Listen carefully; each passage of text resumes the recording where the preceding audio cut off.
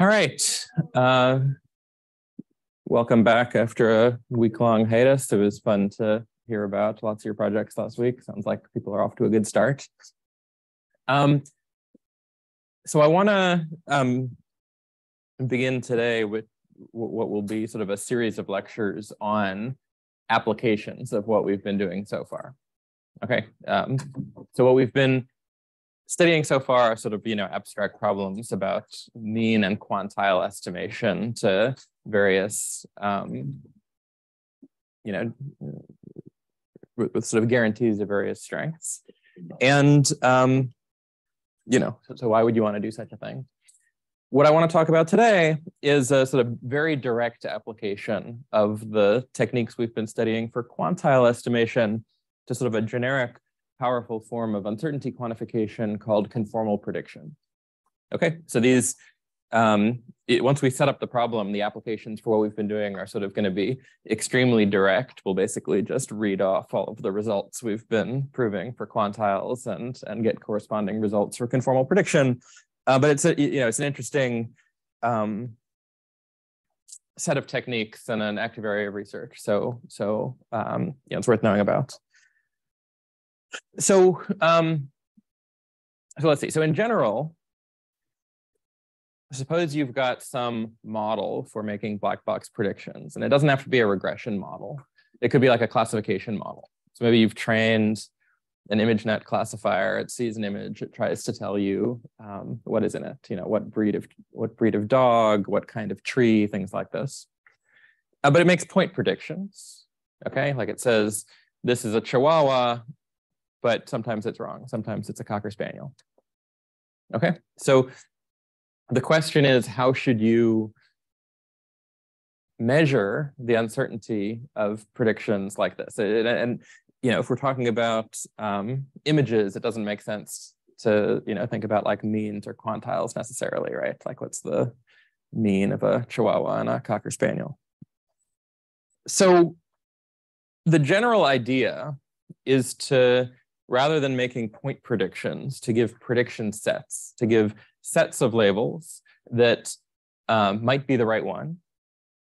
And hopefully the hopefully these prediction sets have sort of two properties. One is that they are actually likely to contain the true label. Okay, so we want that, um, you know, with, with some specified probability, the prediction set should contain the true label. And also that, um, you know, ideally the prediction set isn't like too big. Like we, we don't want it to overcover either. Um, you know, if you if you always contain the true label by just outputting the set of all possible labels. That's not very useful. So, um, yeah, okay, so the goal is to produce prediction sets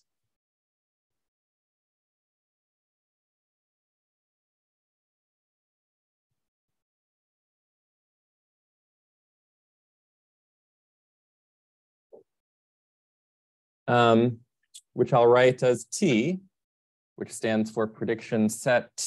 There's a T at the end of set, which we can think of as a function uh, mapping features, which we have available at test time. We see the image to uh, not just a single label like a sort of traditional prediction model would produce, but a, but a subset of labels.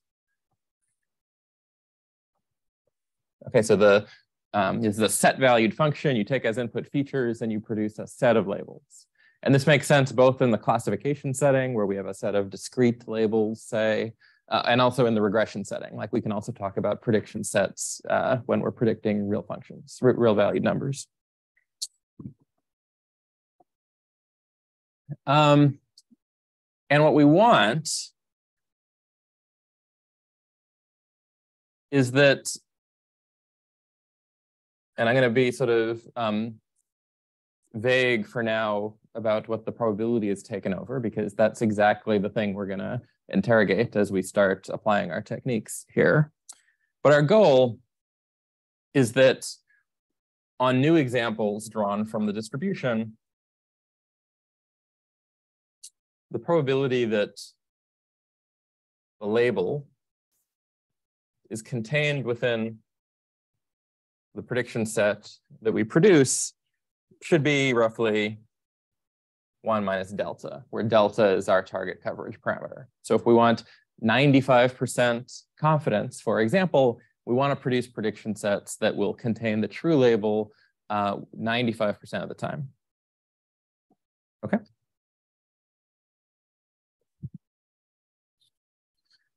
So, um, sorry, I don't think yeah. I quite understand this. This X up here, this chi, chi or whatever. Um, it's is. Can you give? I guess I don't really understand this set. I, mean, I don't understand. yeah, let's see. So, um, you know, let's. It, it depends what the sort of features and labels are. But you know, suppose you know, I don't know. X is you know the set of you know 256 by 256 images or something. Okay, so just like pixel values. And Y is the set of labels. There might be, these might be sort of discrete labels, might be, you know, I don't know, poodle, chihuahua, golden retriever,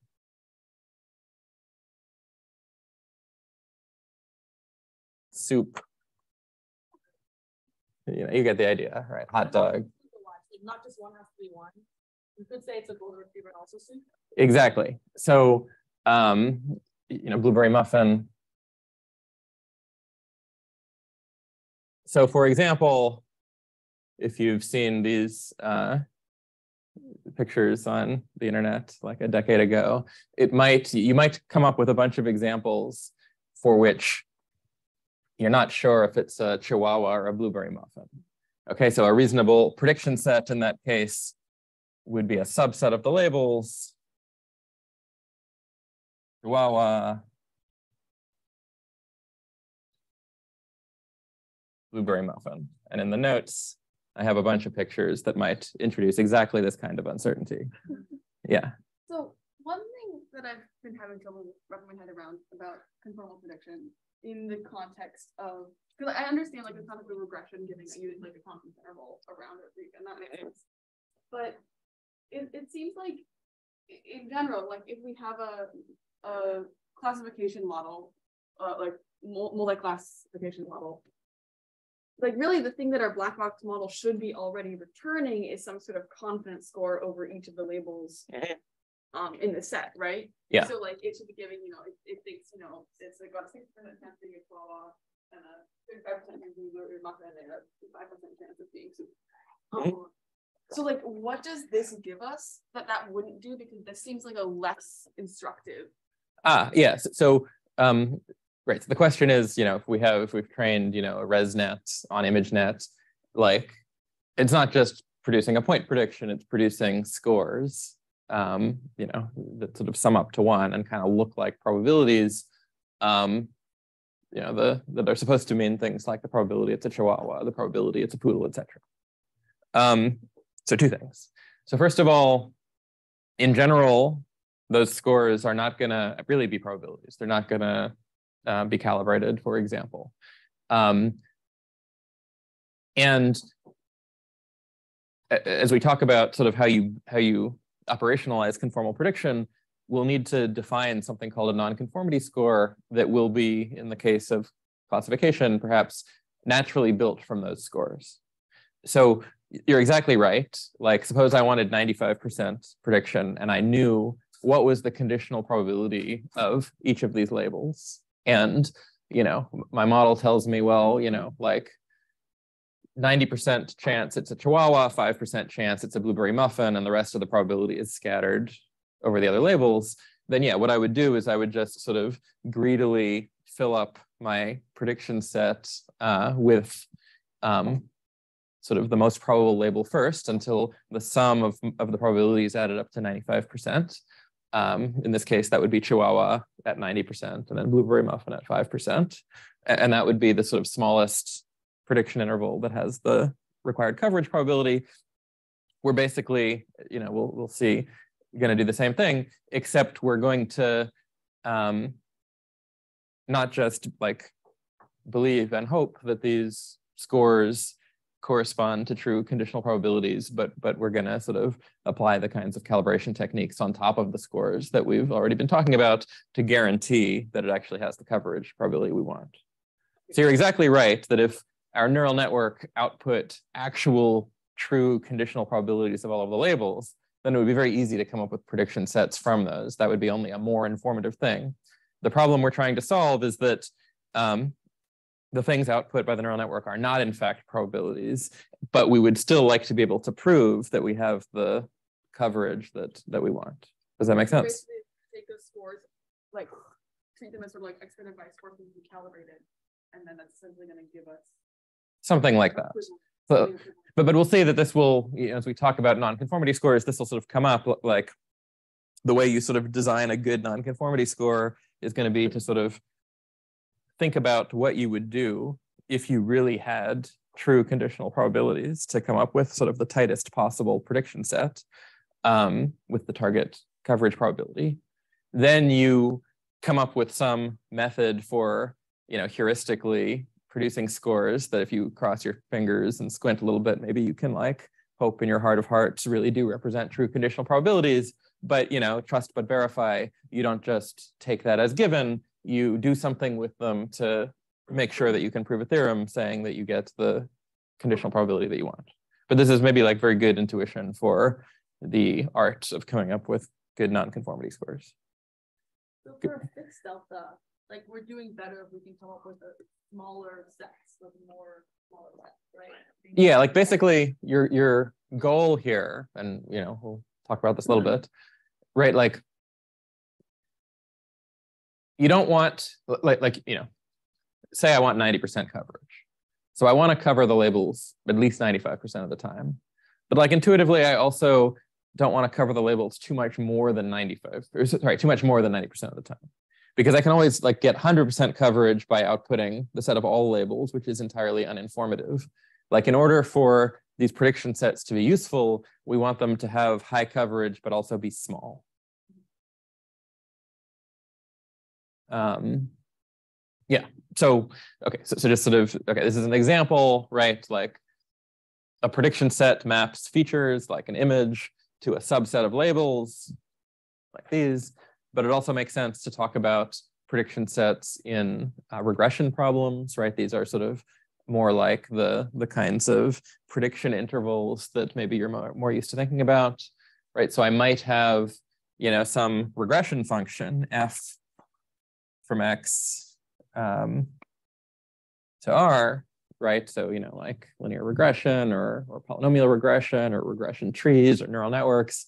Uh, by the way, the strength of these kinds of techniques are going to be that they let you affix uncertainty sets even to arbitrary non-parametric models. So there's, you know, no reason to limit yourself to linear regression here.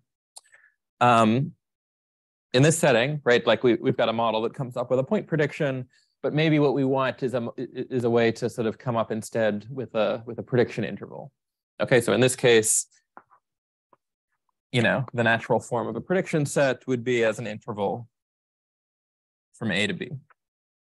By the way, there's other prediction sets, you know, it doesn't, the prediction set for a regression problem doesn't have to be an interval. It could be, you know, a union of disjoint intervals. It could be, you know, a bunch of disconnected points, but intervals are, are natural.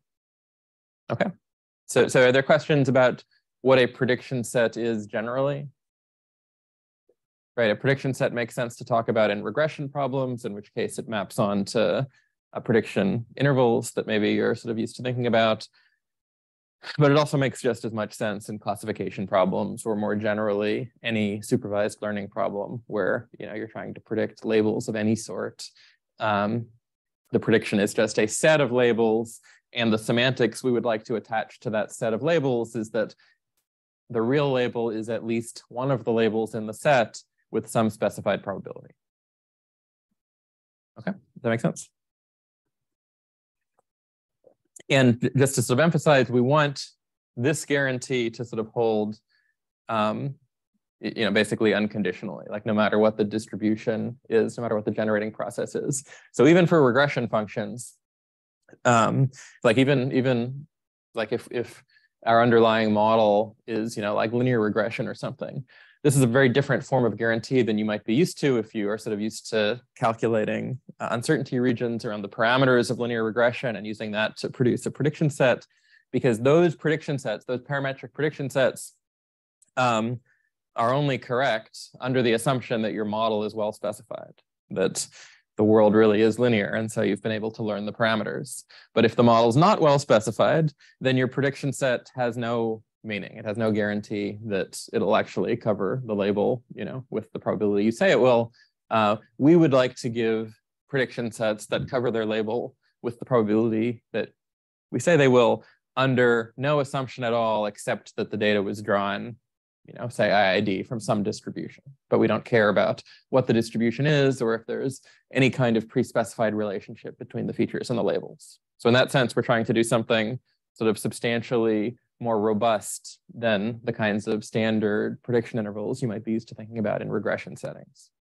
This maybe is a question that's better for the end class, but uh, so that is no problem.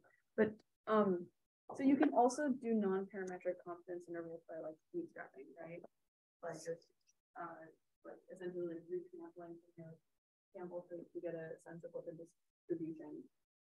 Um, like like you don't you don't have any parametric assumptions but you can sort of like simulate what the CDF of your distribution looks like and use that to generate confidence interval. Yeah, what um, kinds of actual finite sample guarantees do those confidence intervals have though? That's a great question. I'm really glad you asked. I have no idea. Okay. Uh, does anyone in this room know?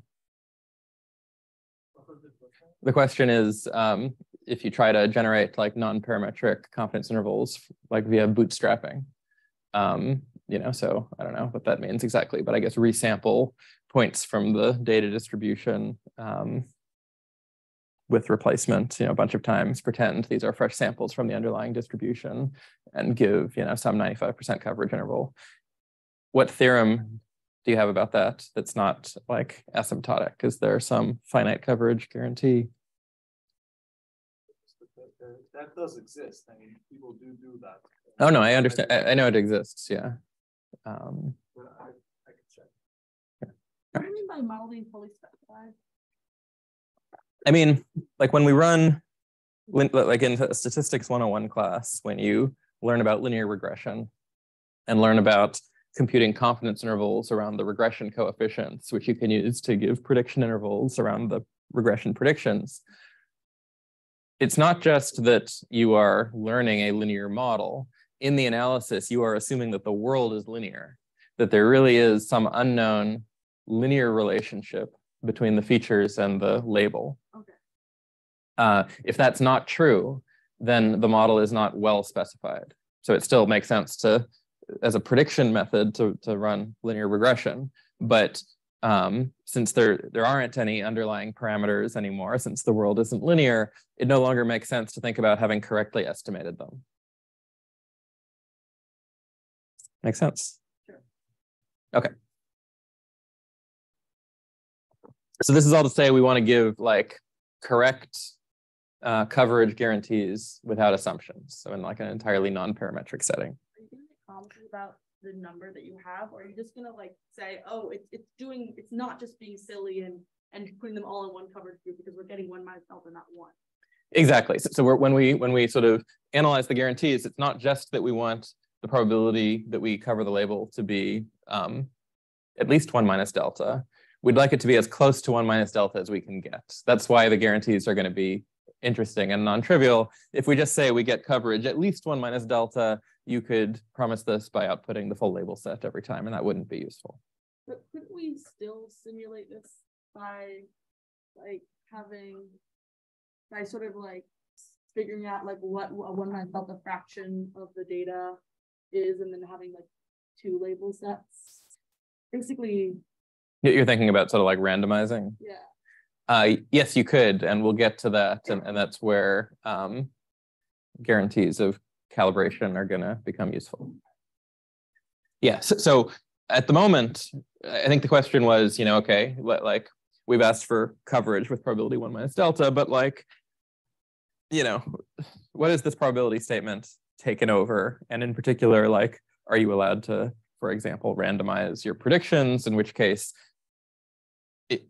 you know, this is all to say, until I specify more clearly what the guarantee is, it's not obvious that satisfying a guarantee that looks kind of like this will necessarily imply that your prediction sets are informative. There might be ways to cheat. And part of what I want to get at today as we sort of apply our sort of increasingly sophisticated quantile estimation techniques is to um, sort of close various loopholes and make sure that these prediction sets have to be informative and that you can't cheat. Okay. Okay, so um, so prediction sets are cool, but you know, right? You might notice that the set of all subsets of labels is kind of big, and so one problem that you immediately run into is the curse of dimensionality, right? Like you know, from first principles, if I have k labels, you know, um, there's two to the k possible prediction sets, right? In ImageNet, I think k is something on the order of 10,000. So, so two to the k is just like way too large to even contemplate. So like, how do we think about finding the best prediction set? And the the way that conformal prediction gets around this curse of dimensionality, sort of the you know one of the main ideas of conformal prediction, is to introduce what's called a non-conformity score, which reduces this two to the k dimensional problem to a one dimensional problem. Okay, so you know, sort of the the technique of conformal prediction, you can think about it as number one, identify some one dimensional um, slice of prediction sets using what's called a nonconformity score. And then like do clever things on that one dimensional slice where we can start to use techniques for one dimensional estimation of the sorts we've been thinking of to solve the problem. Okay. So like a key idea here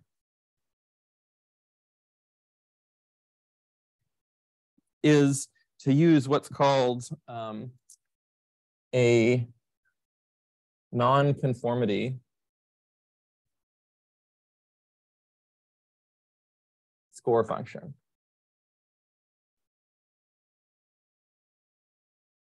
Which is just some function that I'll call S for score that maps feature label pairs to real numbers. Okay, and this can be anything. Okay, the, the guarantees that we're going to give are going to hold no matter what your nonconformity score function are, but whether the prediction sets are interesting or not is going to depend on you having come up with a you know interesting nonconformity score function.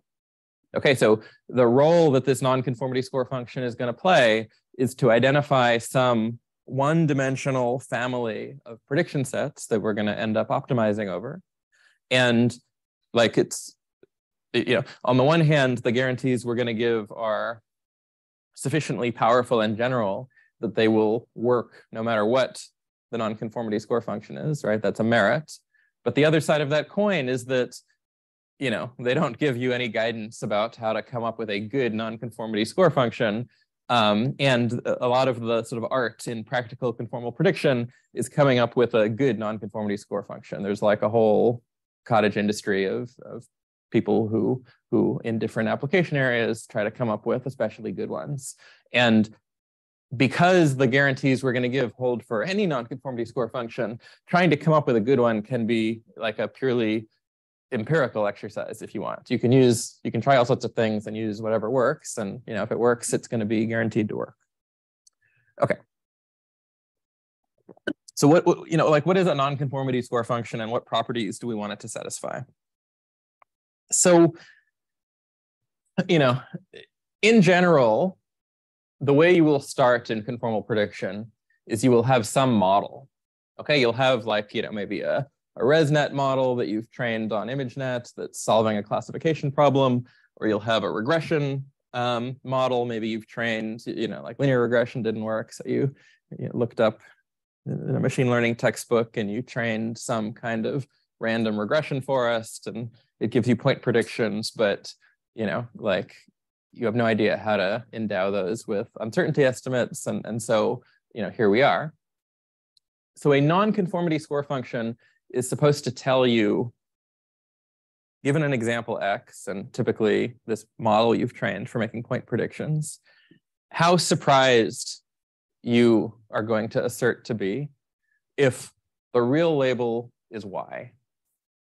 Okay, so, you know, for example, yeah, suppose we have a regression problem and what we've trained is some model, um, yeah, some regression model that maps feature vectors just to real numbers. What would be a sensible nonconformity score function?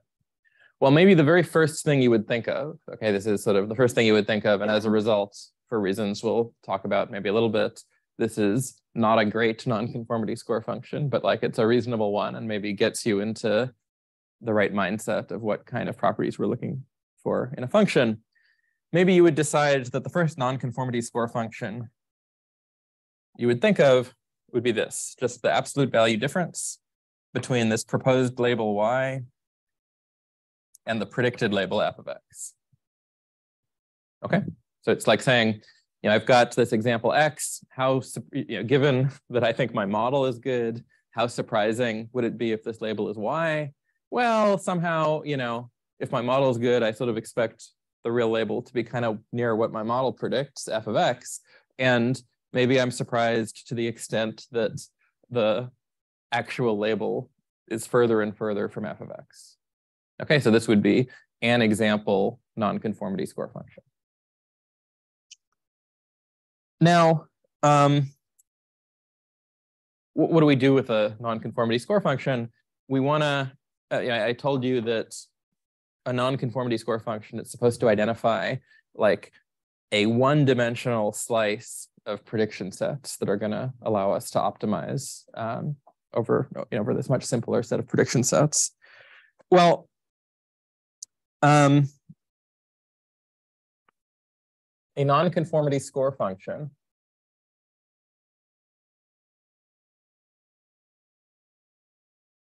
parameterizes a one-dimensional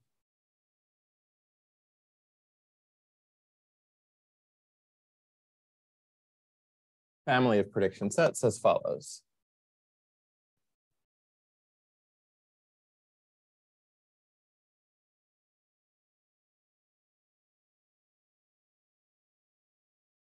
I'll write it as um, t sub s because it's parameterized by some non-conformity score function. Um, it takes as input uh, a feature vector x and this one dimensional parameter tau. Um, and what is the set? Well, it's the set of all labels y hat such that when I evaluate the nonconformity score function on input x and candidate label y hat, um, the nonconformity score function takes value less than tau. Okay, so let's think about this for a second. Um, right, so we get an example x. This produces, in our running example, maybe um, a point prediction f of x. And um, given any candidate label y, we get a, you know, a, a nonconformity score, which is just the absolute value difference between um, f of x and, and y.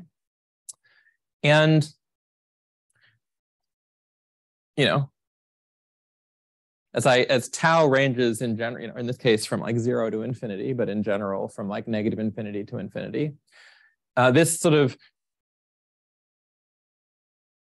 parameterizes like a collection of prediction sets that range on the one hand from, you know, like basically the empty set when um, tau is smaller than any of the nonconformity score any of the nonconformity score values to the complete prediction set that includes all of the labels when tau tends to infinity. Right, like so in this particular case, if we think of sort of this sort of simple nonconformity score function as a running example, um, what we would have uh, is that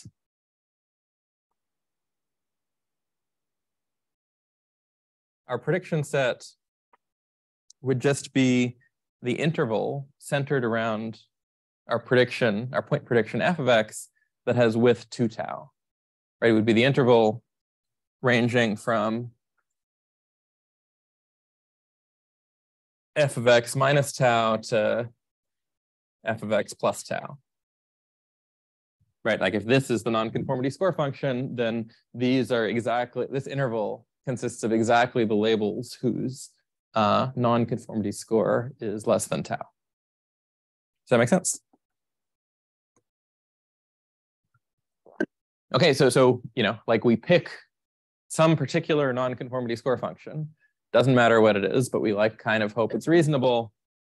And no matter what it is, we get a sort of one-dimensional family of prediction sets, uh, character parameterized by this threshold tau that you know, as we as we range tau from minus infinity to infinity, sort of uh, goes from at one extreme, like the empty prediction set, to the other extreme of of the full prediction set, and hopefully, you know, has some interesting structure in between. So um, these prediction sets are not disjoint. Uh, they're definitely not disjoint. Like in this case, they're nested. Yeah, yeah. Like in, in general, they're always nested right? Like if I, right, they have sort of this laminar structure. If I increase tau, nothing is removed from the prediction set and stuff is added. Um, I guess what I mean is fixed tau to a point. Yeah. Um, and you have a bunch of prediction sets, right? What, what do you mean a bunch of, I have a, for every X, I have a prediction set trying to guess what is the corresponding Y for that X. Right, like in particular, if tau is fixed, this prediction set. Okay. Right, so, so this is a function mapping X to a set of labels. Yeah. So, um, but for any particular X, I, yeah, I'll just figure it. I, I think I just need to process it in my brain. You're doing great. Thank you. Um, no, no, but let's let's clear this up, right? So, so what is the object that we're trying to produce, right? What is a prediction set?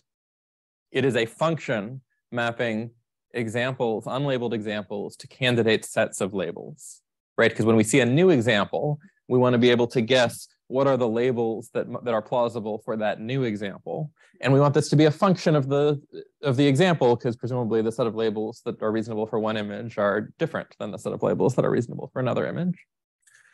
This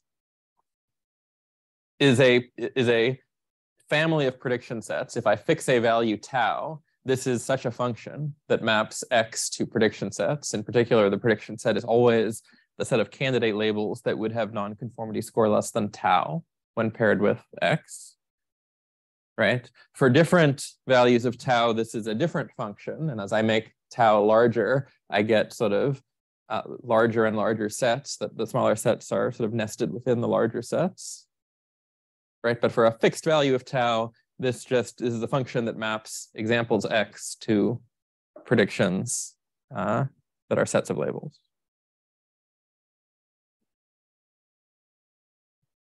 So for example, in a regression problem, it causes, you know, like rather than making point predictions f of x, we now give prediction intervals that are like, in this case, centered around f of x, but have some width that is a function of tau. Does that make sense? Okay.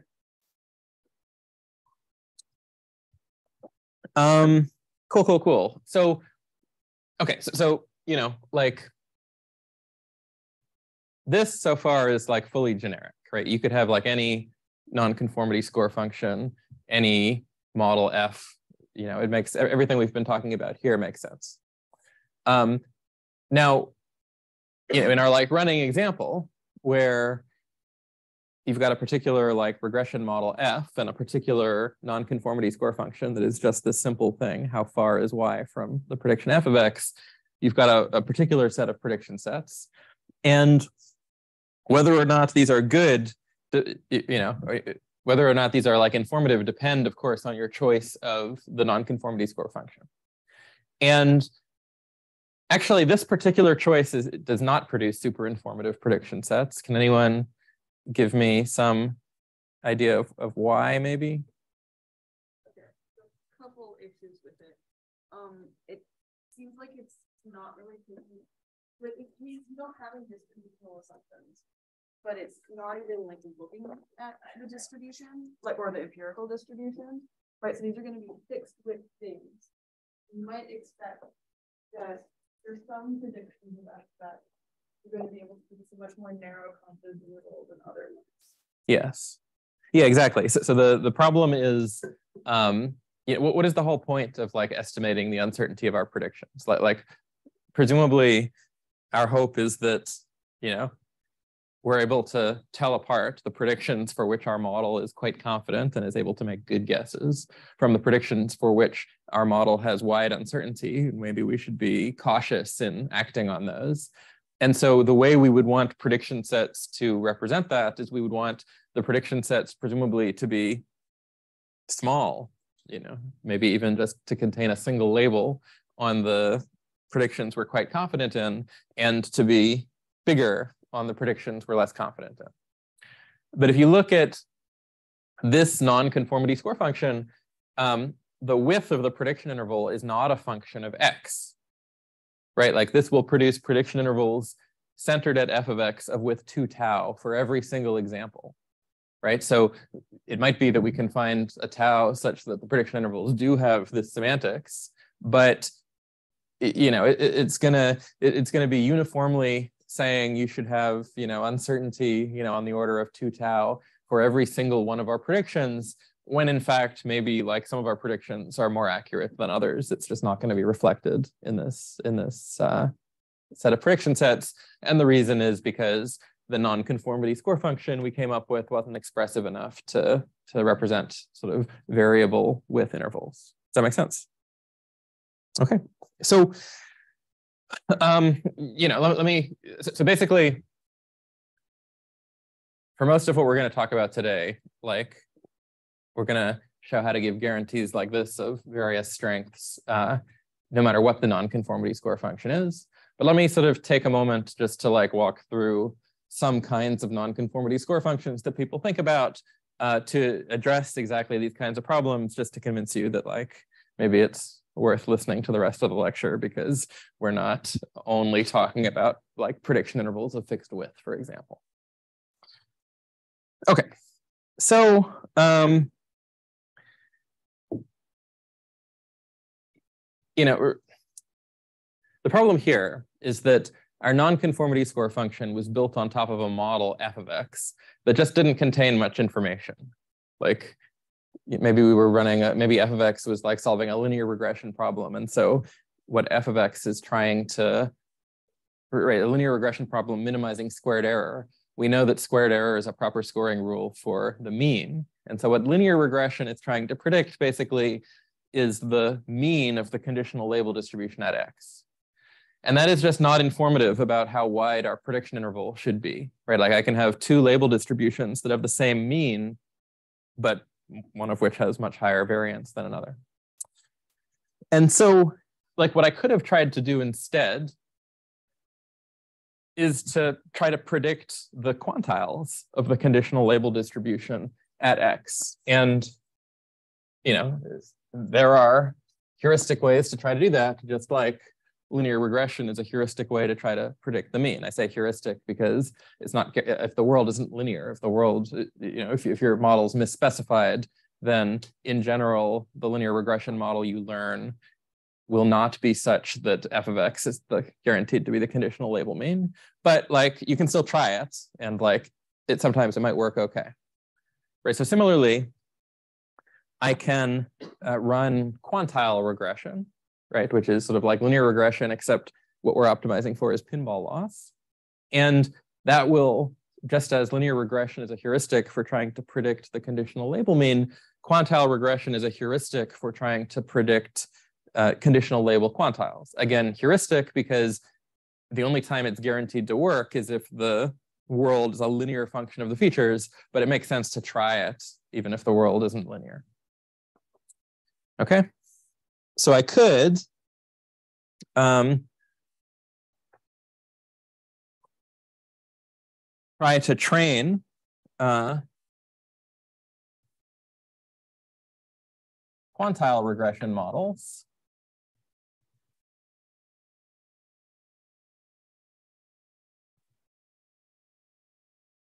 Let's call them h of delta over 2 of x and h of 1 minus delta over 2 of x, okay? I can do this by just optimizing pinball loss over the set of linear functions, say, by direct analogy to linear regression. Um, where what I'm, you know, like I'm, I'm like crossing my fingers and hoping that this function predicts the, um, the delta over two quantile of the conditional label distribution given x and that this function produces the one minus delta over two quantile. Again, if the world is linear and I'm training linear models, this will actually be true. But in general, like, you know, might be kind of right, but but there's no guarantee that it's going to be true.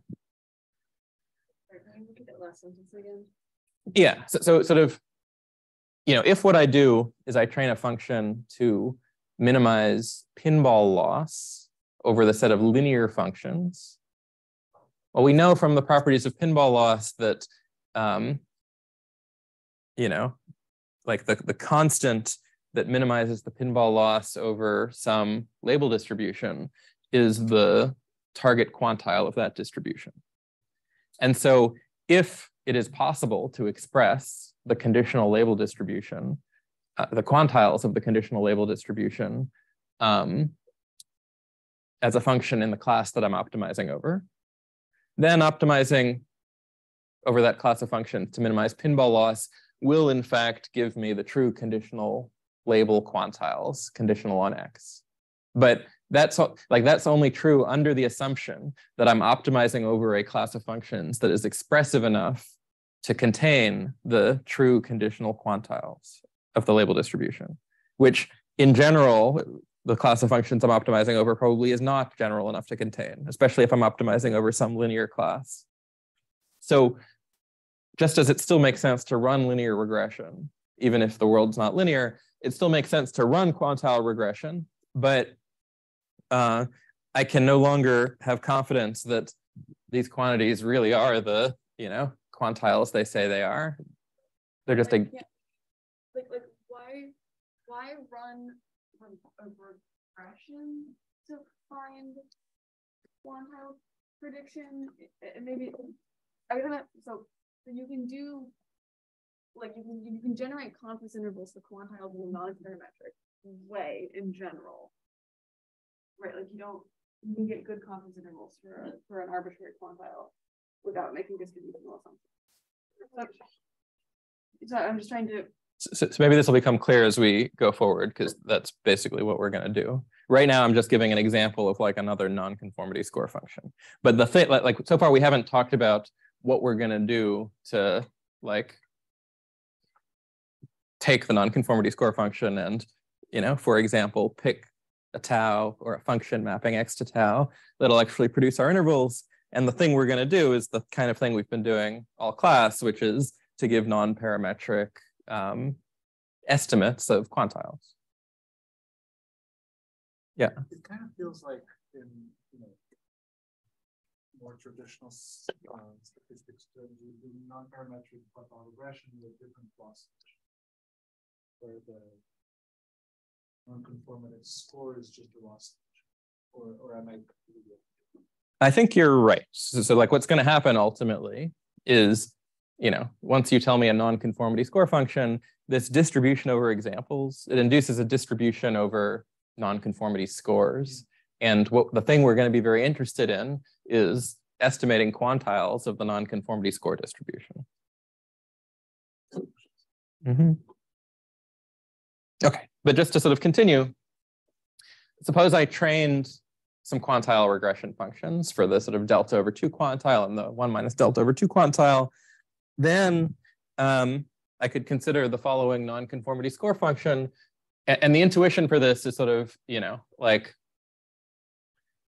if I believed my quantile regression function, if I believed that my quantile regression function was truly telling me you know, the delta over two quantile from the conditional label distribution and the one minus delta over two quantile for the conditional label distribution, then the prediction interval like I would want to give for x would just be the interval from h of delta over 2 of x to h of 1 minus delta over 2 of x, right? This would have coverage probability delta, because like by definition, there's delta over 2 probability that you're less than this and delta over 2 probability that you're bigger than this. So the reason it's not good enough to just do this is because ultimately in a non-parametric setting, quantile regression is, is just a heuristic. Okay, but I can define a non-conformity score function that just tells me for a label y, a, candidate label y hat, how far I am outside this interval. Okay, so you know, if I'm out here, I want the score function to be this distance. If I'm here, I want the score function to be th this distance. And if I'm inside, I want the score function to be zero. Okay, it, it, it's just telling, or, or, actually probably not zero. Um, I, I, want it to be the negative of the distance to the closest um, endpoint. Okay, so um, what I want is that my nonconformity score function should be the maximum of h of delta over 2 minus y and h of 1 minus delta over 2 and y minus h of 1 minus delta over 2. Okay, so um, yeah, if I'm outside to the right, the distance will be this. If I'm outside to the left, the distance will be this. And inside, um, the distance will be the negative distance to the closest endpoint. Okay. Um, and if I do this, then if I look at the one-dimensional family of prediction sets induced by thresholding the nonconformity score, what I get are prediction intervals that look like um,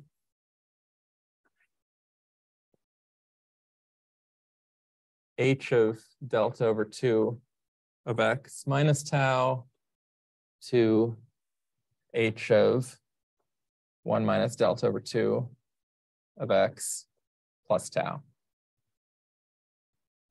Okay, so I take the prediction intervals that I sort of started with that would have been a good idea had my quantile estimates been correct. But now what I've what I've done is by introducing this parameter tau, I've given myself the ability to unif to sort of uniformly expand or contract them, just in case uh, you know my heuristic quantile estimates were off. Uh, they could have been off either sort of conservatively or aggressively. So I might, in order to get the correct coverage, want to either expand or contract these intervals, and there will be some value of tau that gets the correct coverage.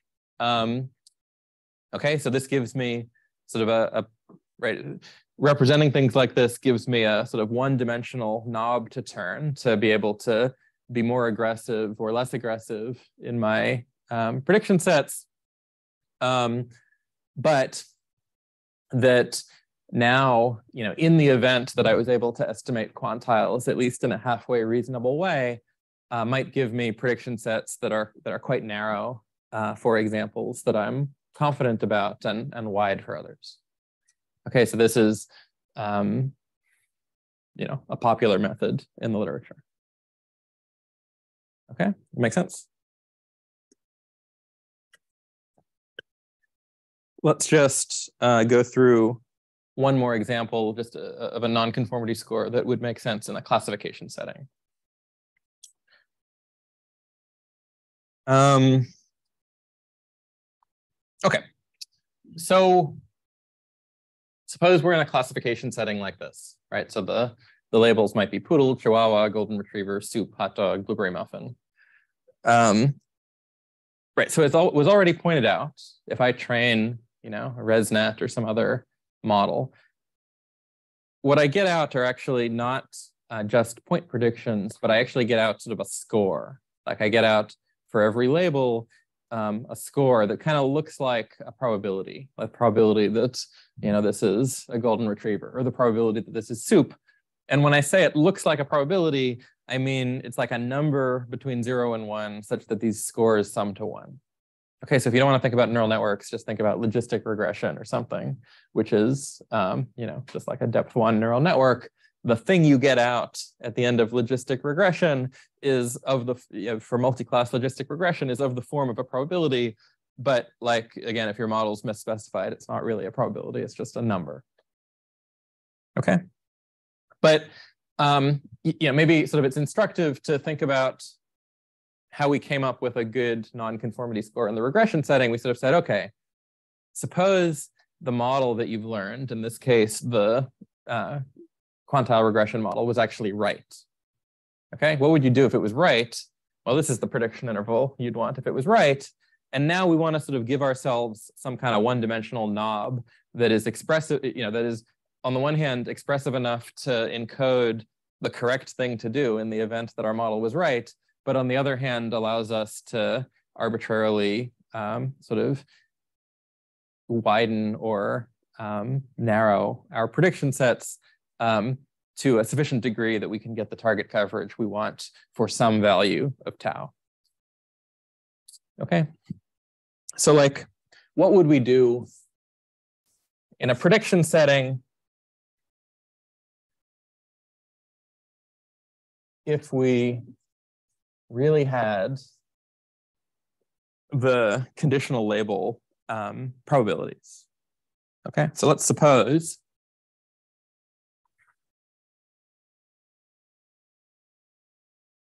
that we have this function um,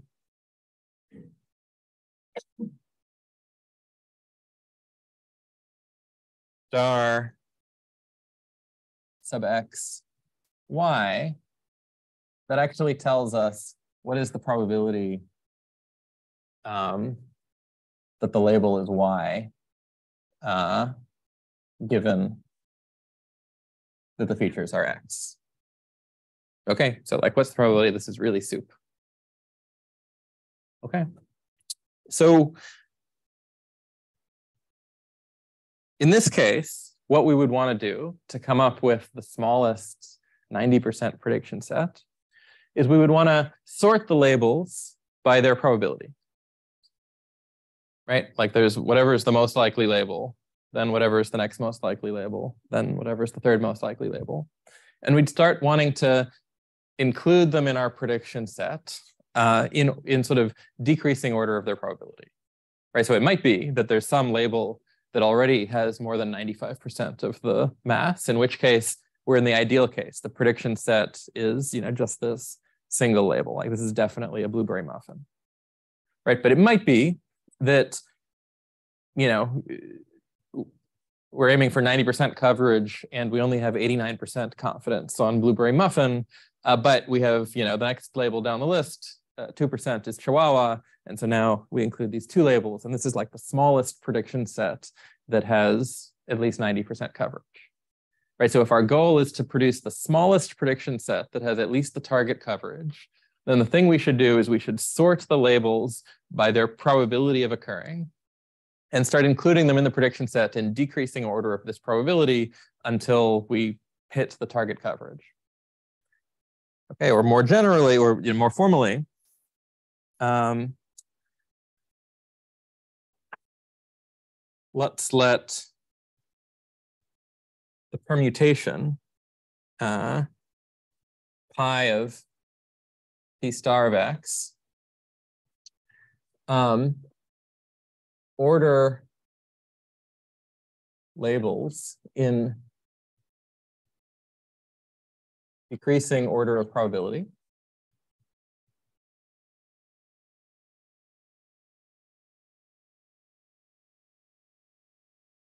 Okay, so you know, like by assumption, what this means is that if I look at the probability of the label that comes first in this permutation, this has higher probability than the label that comes second in this permutation, and so forth. Okay, so just decreasing order of probability. And let's define the function CT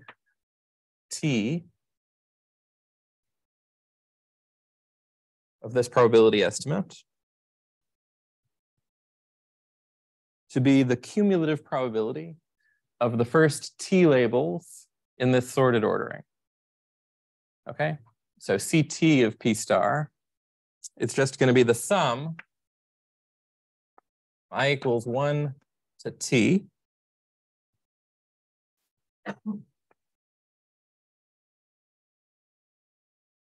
Of the probability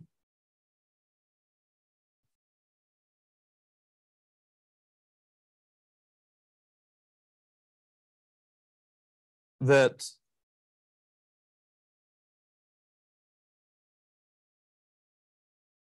the ith label in this sorted ordering has. Okay, so if if uh, you know blueberry muffin is the most likely label and uh, Chihuahua is the second most likely label, then C1 is just the probability of blueberry muffin. C2 is the probability of blueberry muffin plus the probability of Chihuahua. Okay, so it's the cumulative probability of the top T labels in the sorted ordering.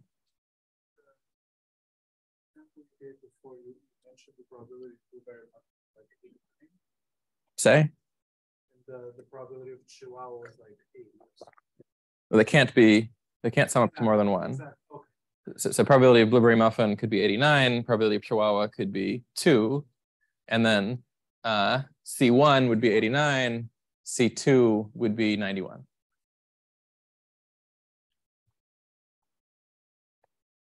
Okay. So then, um,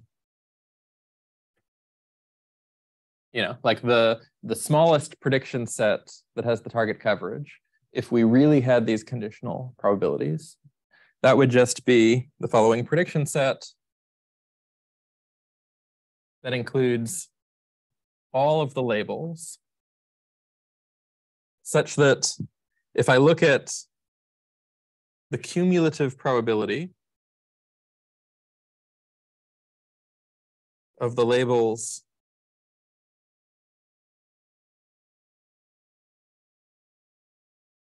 ranging from sort of most likely to wherever this label shows up in the sorted ordering.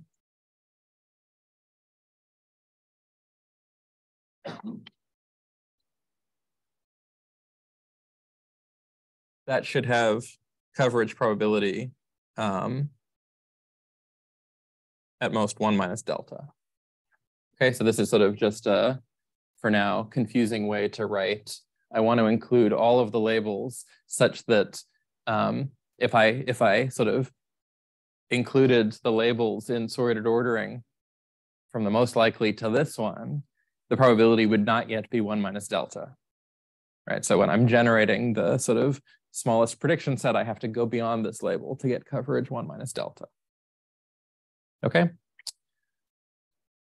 Now, the reason to write it in this way is because this corresponds to a prediction set of this form.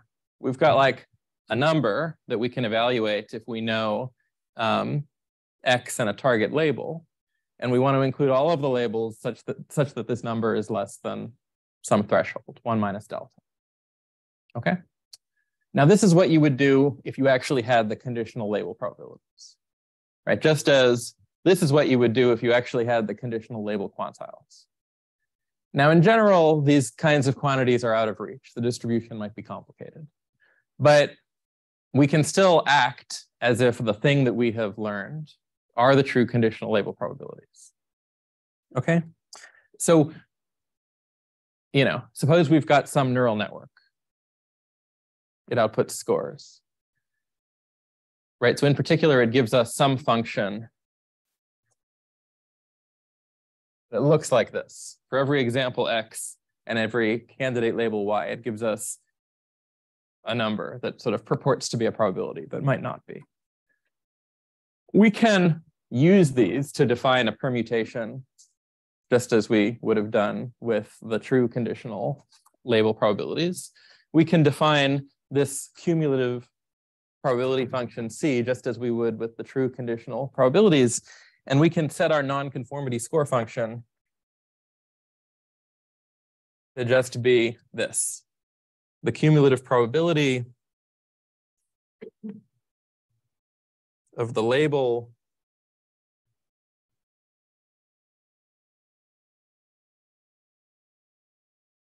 ranked from one to the ranking of label Y under these guesses for what the marginal probabilities of the labels are. And now the prediction sets that are generated from this nonconformity score function look like this. And if we were correct and our neural network worked amazingly and really learned the true conditional probabilities, then this would be an expressive enough family of prediction sets to have the optimal prediction sets in there, right? Like we would just set tau to be one minus delta.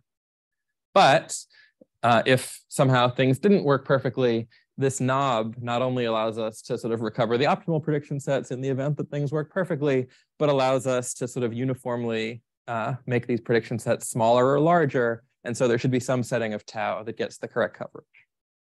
Okay, so, so this is sort of the general idea of conformal prediction that what you do is you sort of, you know, have a good idea in the shower or something for what might be a good way to come up with prediction sets.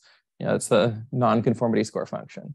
We don't care what it is. It just, you know, like uh, you know, the important property is that it's one dimensional and whether it's actually a good one or not, you know, that's potentially an empirical question, but, um, you know, like maybe at least it should be based on some something that would be sensible if you knew the true distributional properties.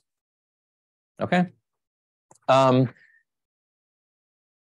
and then, right, you've got this one dimensional family of prediction sets and all of the rest of the work is coming up with good prediction sets in this family. Okay. And the strength of conformal prediction is that, you know, the, the non-conformity score function can be anything. It can be based on any model, you know, can be however complicated, however many bells and whistles you like. We don't need to make assumptions about either what the model looks like or what the true distribution looks like, what the world looks like. Once you have the model, you can come up with any nonconformity score function you like. And so for the rest of this lecture, I'm going to like not care about what the nonconformity score function is and just give guarantees uh, you know, I'll assume you give me some nonconformity score function, and we're going to aim to get coverage guarantees. But like we should be reminded that um, these will be most interesting if you come up with a, a clever nonconformity score function. What we're going to promise is we will get the correct coverage guarantees for any nonconformity score function. But if you want the prediction sets to be informative, you additionally are going to want to have like a good nonconformity score function. But the strength of having sort of um, guarantees, coverage guarantees that hold for any nonconformity score function is you can sort of decouple these two things, right? Like you can have the freedom to investigate different nonconformity score functions at your leisure without worrying about coverage guarantees if you have techniques that can take arbitrary nonconformity score functions and, and give them the correct coverage guarantees. Just like, Uh, but not as a pure prediction because uh, for causal inference, we are not interested in the prediction itself, but we are interested in the difference in potential outcomes. So you have like the treatment variable, and if it's one, you have one label, and if it's zero, you have another label. And we're interested in the difference between them. Can we do something like this? Yeah, I mean, you'd have to, I guess, specify a little bit more what you meant. Like, for example, maybe what you want is that I sort of predict the outcome as a function of the treatment. And then, yeah. and then I want that the set should contain, but like, do I want that the set should contain the true label 90% of the time no matter which treatment I choose, um, or for just one of the options. Anyways, th maybe there's different ways you could formulate this, but, and, you know. So for example, I'm interested in the difference as a number. So in some sense. Yeah, so I guess the, the but like maybe, it's just, the short answer is I, I suspect some of these things are relevant and I don't know the answer off the top of my head. Um, you know, the thing about the difference in effect if you treat versus don't treat is that's not observable. Um, of course, if you promised that the you know prediction set would get the you know, the, the, prediction set, which would now be a function both of the features and of the intervention, would get the correct coverage sort of for every intervention, then maybe you could work out from that something about the difference. A anyways, that sounds pretty interesting. Um, I don't, yeah, that, yeah, yeah, like no, nothing I say today will be uh, directly applicable to causal inference, but um, I would guess if you type into Google like conformal prediction causal inference, you might find some results. And even if you don't, I bet that you could come up with some results. Okay, sounds good. Yeah. Okay. Um, good. So from now on, I'm going to, you know, so, so like this part was just sort of, you know, rah, rah, conformal prediction. Um, these were examples of nonconformity score functions that people use. But from now on, I'm not going to care about the details of the nonconformity score function. Like it's just some function from now on, and we're going to give guarantees no matter what it is. So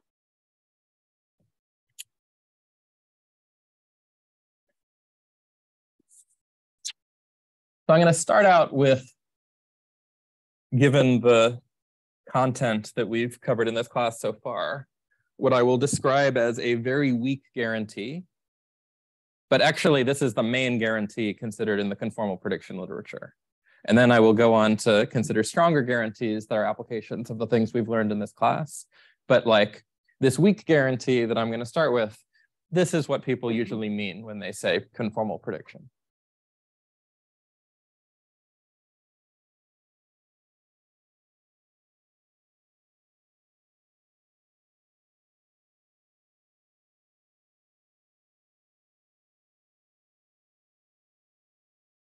And you can consider conformal prediction either in the batch distributional setting, where data is drawn IID from some distribution, or in the sort of or in the sequential adversarial setting. Um, we're going to consider both because we've given techniques for both settings here. But let me start in the sort of uh, batch distributional setting where this is again the most common setting considered in the literature where it's assumed the data is drawn IID or is at least exchangeable, which just means that the sequence, that the probability of any sequence of outcomes should be permutation invariant. Okay. So the problem setup is that we've got some data set D, which I'll call a calibration data set, drawn from some distribution. Okay, it consists of n points drawn, let's just say IID from this distribution, although that's a little bit stronger than we really need to prove the theorem. Um, and our goal is to come up with a prediction set as a function of this D.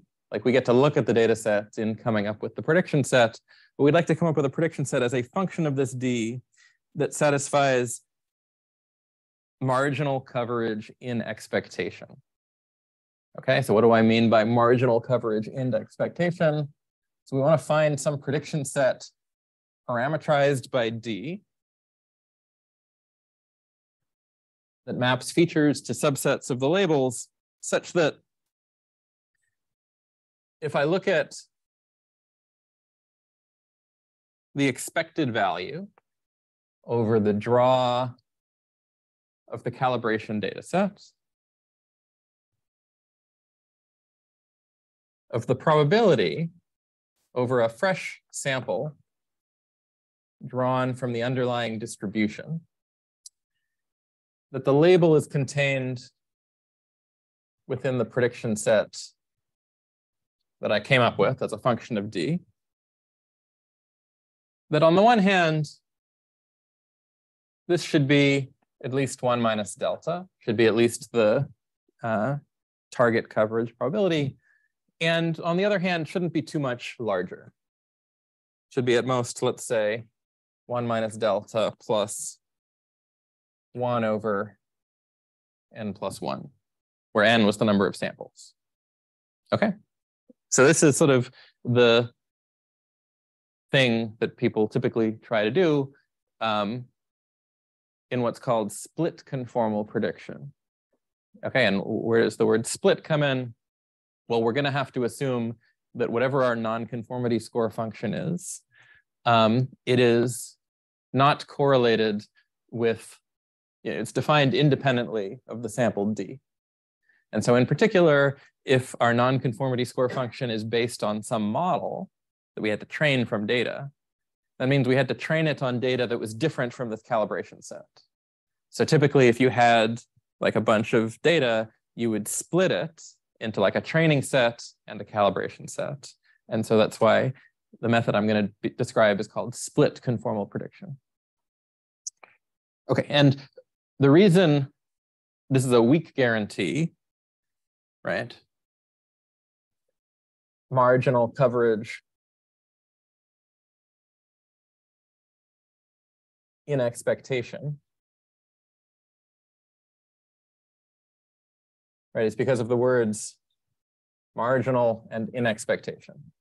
Right, so first of all, this inner probability is a marginal coverage probability, meaning the randomness is taken over both x and y. It doesn't mean that for you, as an example x, there's a 90% chance that your label is contained uh, in the prediction set. It means on average over all of the people we make predictions over, we covered 95, we, we covered 90% of their labels. Okay, so we might overcover on some subset of the population and undercover on the complement of that subset. That's not ruled out by a marginal guarantee. And it's a marginal guarantee in expectation because, you know, like the prediction set we come up with is a function of the training data set, the calibration set. And this guarantee isn't a high probability one. It doesn't say you're you're very, very likely to have, you know, one minus delta coverage. It says in expectation over the randomness, the expected coverage rate is, is one minus delta. Okay, so those are the two things that are sort of weak about this standard guarantee that we're going to try to um, strengthen. But let's let's sort of cover the standard case first. Okay, questions about that?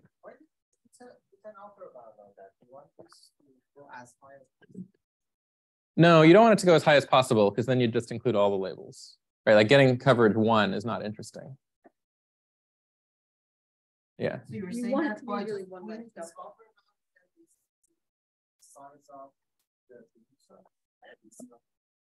Yeah, like, like basically, right, if I have something that looks really, really, really like a blueberry muffin, like I'm 99% sure it's a blueberry muffin, but like, you know, never say never. So like there's, you know, it's not like a measure zero event that it's a chihuahua.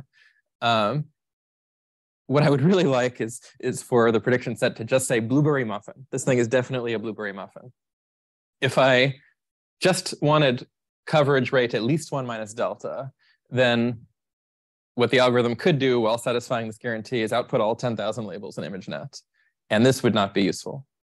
So I want, you know, like if I want to be like really certain you know, I want like 99%, at least 99% coverage because I don't want to bite into a chihuahua. That's gross.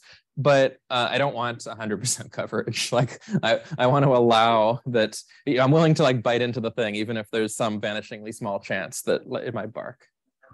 Harm in making this class. Yeah. Does that make sense?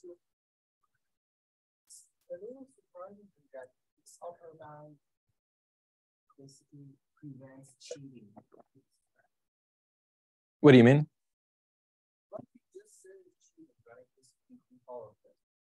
Include all of them plus one. Like, like we, we want to like define some like objective such that if we satisfy it, we're likely to have an informative interval, an informative prediction set. Right, there's other ways to cheat here, and we're going to address those shortly. But like, if you just said you wanted coverage at least one minus delta, there's sort of no constraint here that the thing that you're getting is going to be informative. There's other ways to specify this, right? Like we could set this up differently. We could say, I have no upper bound on coverage, but what I want to do is I want to minimize the average size of the prediction set subject to the constraint that the prediction coverage rate is at least one minus delta.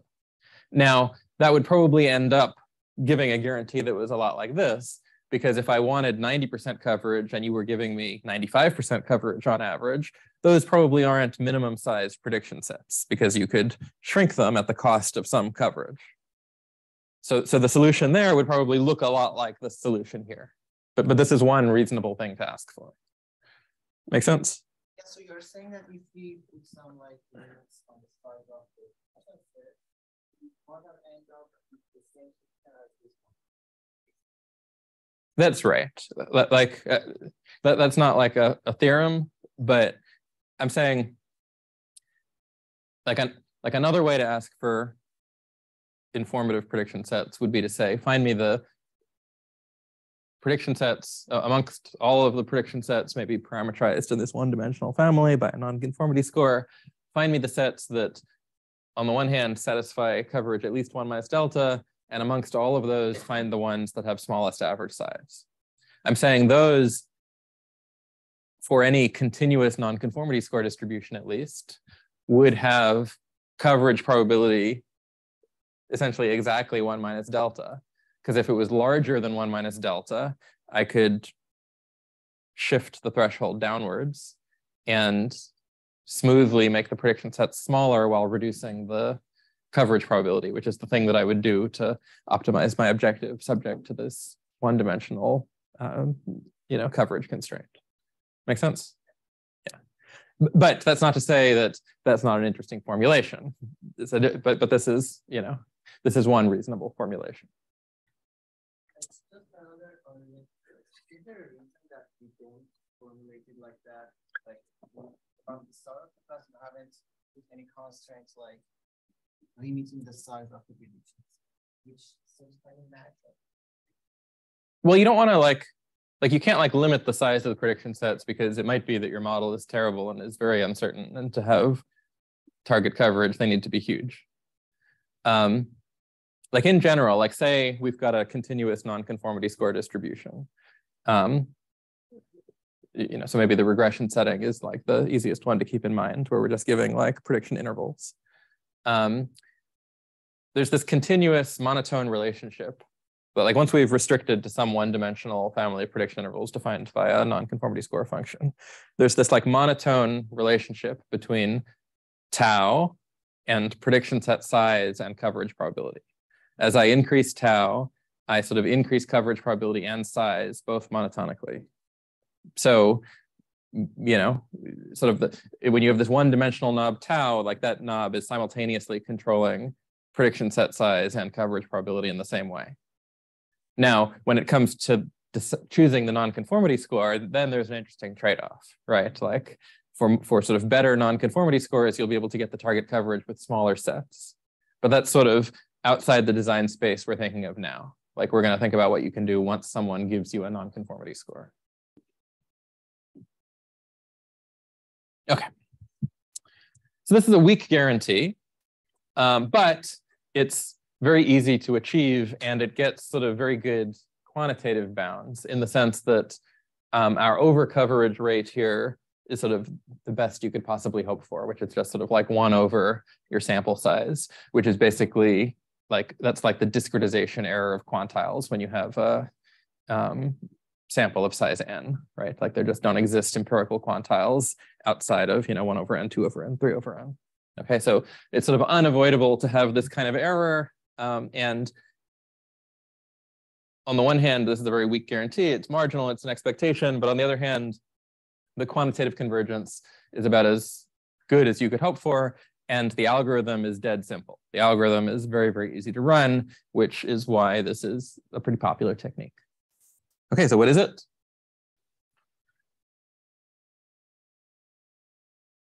I'll call it split conformal. It takes as input a calibration data set D, a non-conformity score function S, and a miscoverage target delta. It says, okay, essentially what we're going to do is we're going to find the 1 minus delta quantile on the empirical distribution, and that'll be our tau. And that's what we'll use for the prediction sets we output, and that's it. Okay, the only catch is because it's sort of a, um, you know, the, the empirical um, distribution um, is, is this like discrete distribution and quantiles are this funny step function. We'll need like a, like a small bias correction term. So we're not actually gonna wanna literally find the one minus delta quantile on the uh, data set. We'll wanna find something just a little bit bigger than that that'll sort of correct for sampling bias. Okay, so we're gonna let tau, this threshold that we're gonna pick, be the smallest value.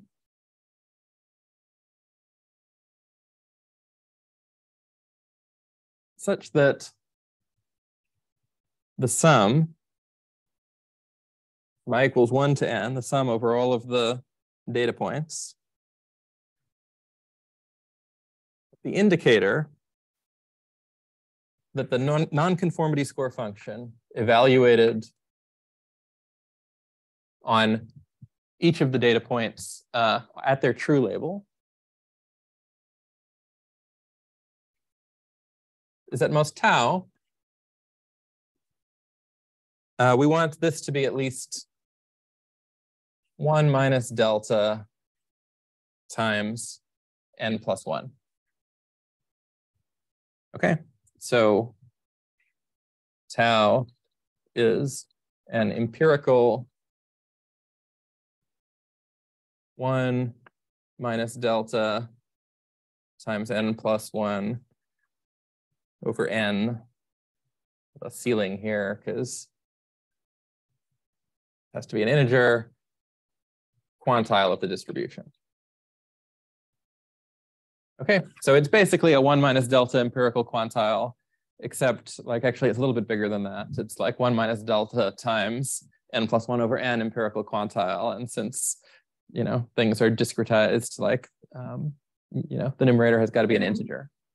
Okay, so we're, but we're, we're basically just finding um, the empirical quantile that is sort of, morally speaking, if you squint, the one minus delta empirical quantile on this distribution. And we're using that, we're outputting the prediction set function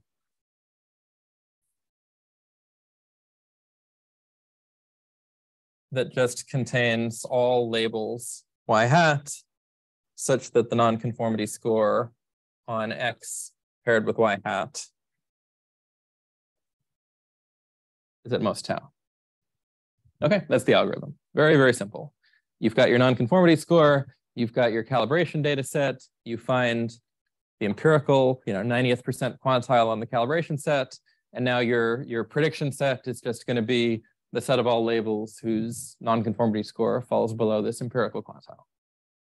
Okay, is the algorithm clear? So super simple. And the claim is going to be that um,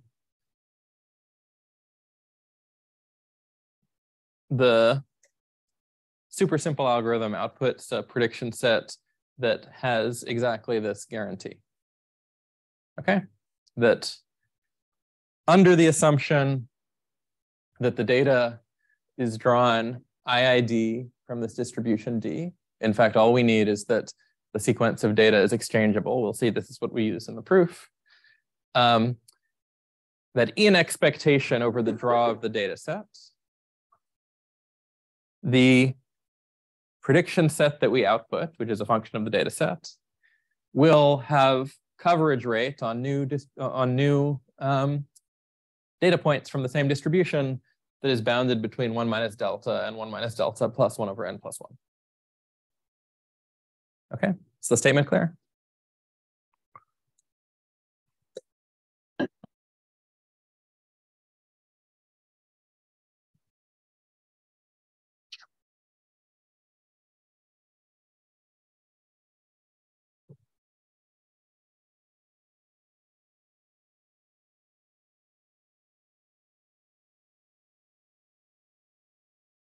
And the strength of this theorem is that it doesn't care what the nonconformity score function is. And so implicitly, since nonconformity score functions are defined by whatever like underlying prediction technology you have, doesn't care what that is either. So this is a way to attach uh, non-parametric prediction sets to any prediction method that has this guarantee uh, with no further assumptions. Um, okay, so what are the assumptions? Well, okay, I want the data to be drawn IID from this distribution. Actually, I just want the sequence of data observed to be permutation invariant. And um, just to like, for like this part, actually, it's important that there are no ties, that there's no two points that have the same nonconformity score function. And so one way to require that hold with probability one is to assume that the nonconformity score function uh, is continuous, but that's actually stronger than we need. Like I just need that the nonconformity scores are unique in the sample. So you could perturb them, for example, with a little bit of continuous noise to achieve that. Okay, so let's prove the theorem. This is the theorem.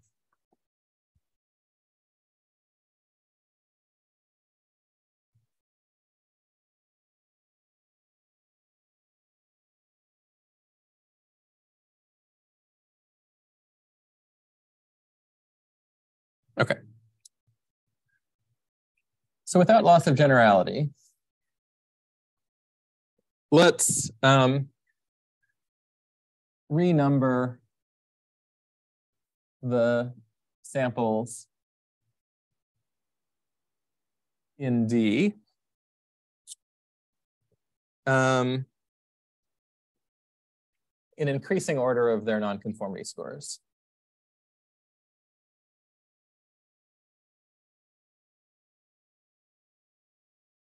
Okay, so by that I mean, you know, whichever point has smallest nonconformity score, I'm going to call that point one. The thing I call point two is the thing that has second smallest nonconformity score. These are strict inequalities because the we're assuming there's no ties. And the thing that I call point n is the thing that has largest nonconformity score. These are nonconformity scores evaluated on the features and their actual labels. Okay. So, um, you know, one thing to observe here, right? Like I said, let tau be the smallest threshold such that um, the number of points that are who have nonconformity scores strictly or not strictly weakly below the threshold is at least something. Okay, so the threshold I'm going to pick is going to be exactly the nonconformity score for one of these points, right? Because if if I picked something between two nonconformity scores, I could shift it a little smaller, and I wouldn't change uh, I wouldn't change this number at all, and so you know, the thing I picked must not have been the smallest. So the thing that I picked has to equal the nonconformity score for one of these points. Okay. So um, let's give a name to the point that it equals. Right, so um, let's let I star be the index such that um, the nonconformity score for point I star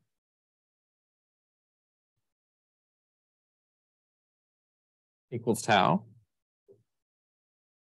And note, we, we know what this index is. I star is just the ceiling of 1 minus delta times n plus 1. That was like by construction. Um, how we came up with tau. Okay.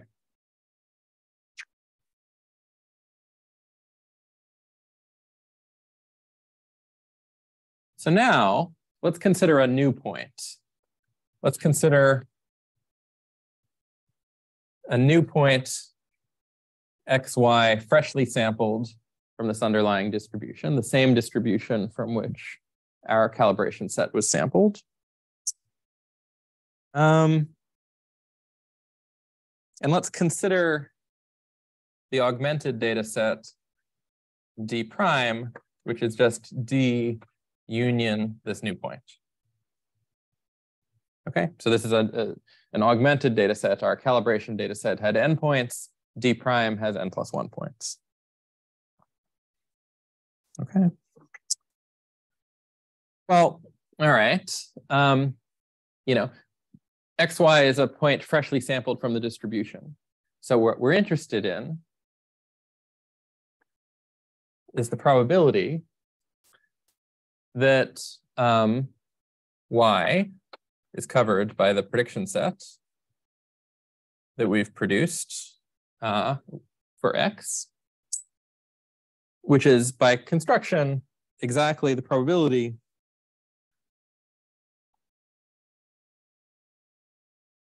um, that the nonconformity score um, S of xy is less than or equal to tau, which is just the probability that if we put d prime in sorted order, that this point xy shows up before the point i star in the sorted order, right? Because the point i star is the point that has nonconformity score equal to tau. When we put the points in sorted order, everything before I star in sorted order has nonconformity score less than tau, and so is covered by the prediction set. Anything after I star in sorted order has nonconformity score bigger than tau and is not covered by the prediction set. Okay, so this is just equal to the probability that I shows up in position less than um, I star when D prime is sorted by a nonconformity score value. Okay. Does that make sense? That's sort of like the key conceptual thing.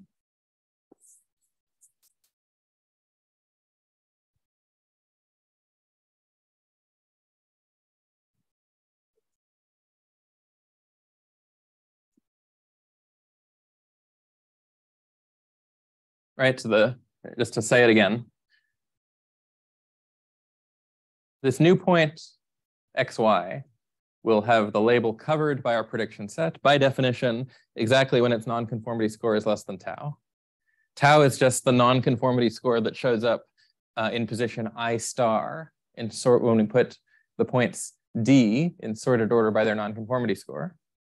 Okay, so when we put the points D prime in sorted order by their nonconformity score, which just requires taking you know this one new point xy and putting it wherever it's supposed to go in sorted order, that's just the event that this new point shows up in sorted order before position i star. That's the same thing as the event that the nonconformity score is less than tau, because the nonconformity score for point i star is tau. In sorted order, everything before it is less than tau. Everything after it is greater than tau. Yes? Okay. Now, okay, now D prime, if I look at the distribution on D prime, this, you know, it's drawn from, it, it consists of n plus one points drawn IID from the same distribution. It's D was drawn, n points drawn IID from the distribution, and XY was just one more point drawn from the same distribution. Okay. In particular, um, like by symmetry, right? Because sort of basically all permutations of the data sets are, are equally likely. Um, right, like, like everything's symmetric. All of these points are drawn IID from the same distribution.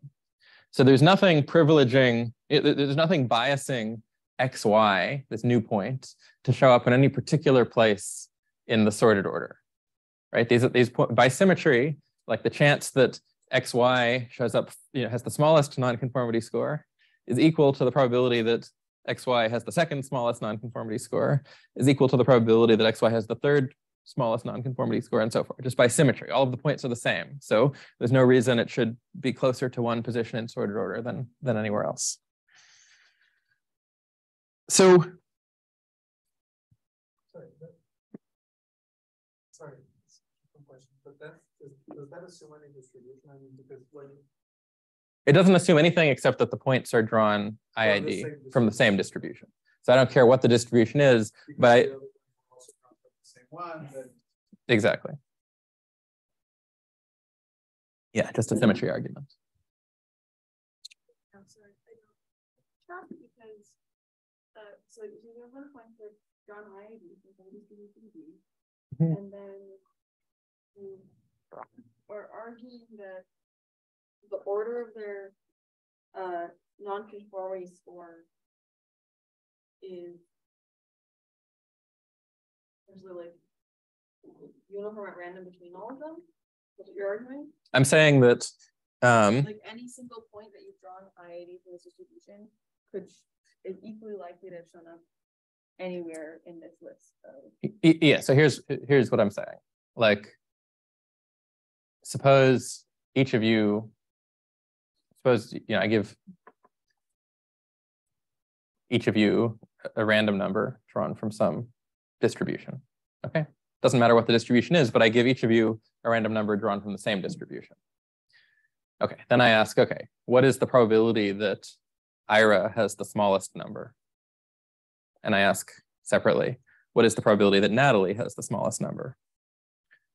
Well, you guys are the same. You drew the number from the same distribution. So it must be that the probability that Ira had the smallest number is the same that the probability that Natalie had the smallest number is the same that the probability Myra had the smallest number is the same for every single person in the room. Right. And so the, okay, and, and uh, those sum up to one. And so if there's n people in the room, by since I know those are all the same quantity, whatever it is, and they sum up to one, it must be one over n for everybody. Okay, so the probability that any one of you has the smallest number, if you drew numbers from the same distribution, it's one over n.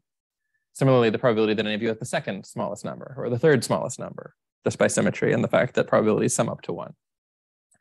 Okay, so here we're just asking that question. We have n plus one points that drew nonconformity scores, which are just random numbers drawn from some distribution, and they're all drawn from the same distribution. That's the IID assumption.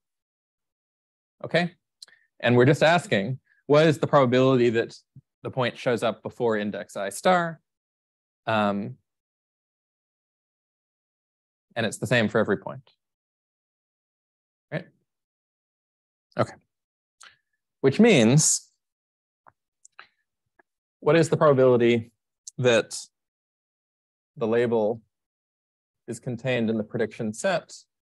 Well, it's the probability that in sorted order, the nonconformity score uh, for point xy shows up before i star in the sorted ordering. Okay, so it can show up in position one or position two or position three, all the way up to position i star. Okay, there's n plus one points. So this is i star over n plus one. Okay. Now, I star is one minus delta times n plus one. The ceiling of that over n plus one, or sorry, I star is one minus delta times n plus one. Uh, the ceiling of that. Well, the ceiling can only make the thing bigger.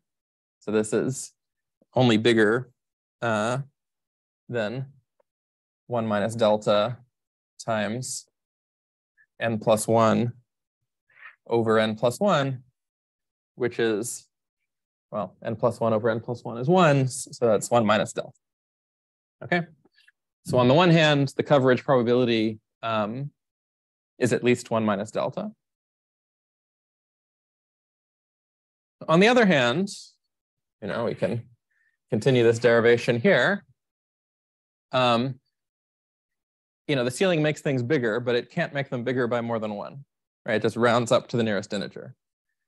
So this is also at most, um,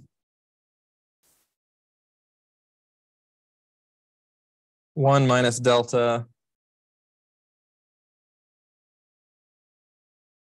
times n plus one plus one, over n plus one, right? Like the ceiling made things bigger, but not by more than one. Um, which is just one minus delta plus one over n plus one. Okay, which is the guarantee in the other direction. Okay. So that establishes um, that this very, very, very simple algorithm gets the target coverage very, very closely, uh, you know, coverage at least one minus delta and no more than that by, you know, no more than one minus delta plus one over n plus one. Um, under very mild assumptions, we assumed nothing about the nonconformity score. We did assume the data was drawn from some symmetric, in, in, some symmetric way. So we needed that everyone was equally likely to be in the first spot, everyone was equally likely to be in the second spot. IID is sufficient for that, but you can weaken that a little to exchangeability. And we recovered, we, we required in this argument that there were no ties. Like if we want to get this one over n plus one, it's important that there's no ties. And so um, if the nonconformity scores are drawn from a continuous distribution, for example, that'll be the case. Okay, so why don't we take a, a 10 minute break now, it's 8.30, let's reconvene at 3.40 and we'll start thinking about how to apply what we've been doing to get somewhat stronger guarantees.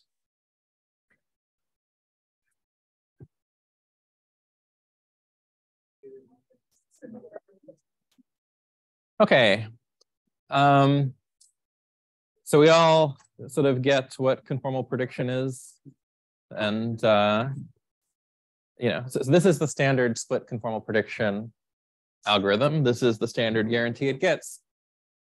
What I want to do for the rest of the class is basically just march through everything else we've done in this class from lecture one until now, apply it to this is why I made us do everything for quantiles as a, in addition to means.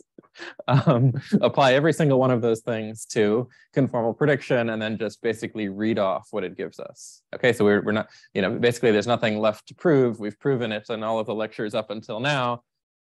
Note that maybe it's worth explicitly making this uh, observation, like conformal prediction just reduces, or the, what this nonconformity score is doing is it reduces this otherwise high dimensional problem of uh, finding a prediction set to the problem of just estimating quantiles of this one dimensional nonconformity score distribution.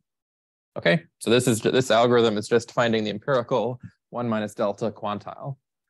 And um, you know, the reason it gives us a weak guarantee, a guarantee that's in expectation and a guarantee that uh, is only marginal is because it's only estimating, it's only getting marginal quantile consistency and expectation.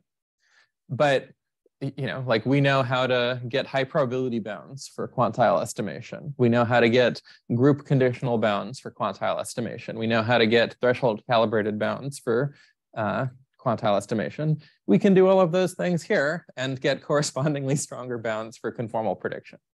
So let's just walk through this.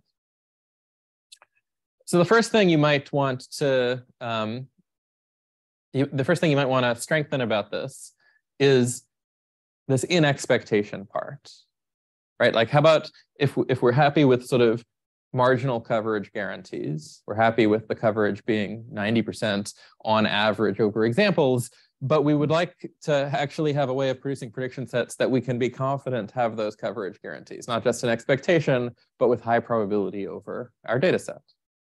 Okay, well, that is nothing except a, you know, estimating tau in a way so that we know that tau satisfies marginal quantile consistency with high probability, which is something we've done. Okay. The algorithm is almost the same as this. So um, it's, it's a matter only of changing um, sort of our our um,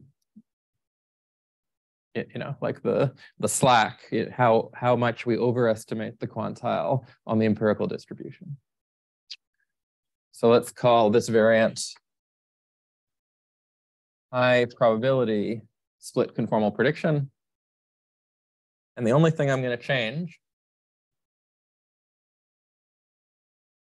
is what quantile, what, what quantile we estimate on the empirical distribution. Rather than estimating the one minus delta quantile, um, I'm going to estimate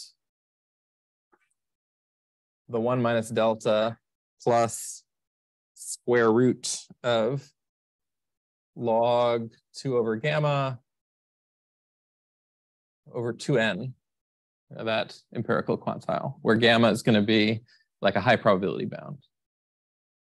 Okay, so same algorithm as before, except we're going to be a little more conservative when estimating the empirical quantile. The, the, you know, the empirical quantile won't be the one minus delta target quantile anymore. We'll shift it up rather like before we were shifting it up by something that was smaller than one over n. Now we're shifting it up by something on the order of one over root n, which is sort of the standard deviation. That's how much we might expect the empirical quantile to deviate from the true distributional quantile in expectation. Okay, so what's the theorem?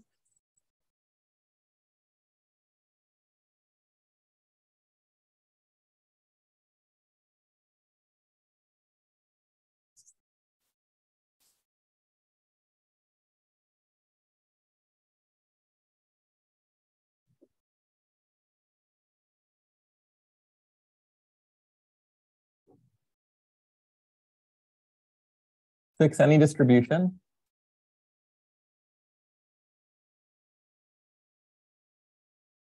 D over examples, any um, miscoverage rate, target miscoverage rate delta between zero and one, any nonconformity score,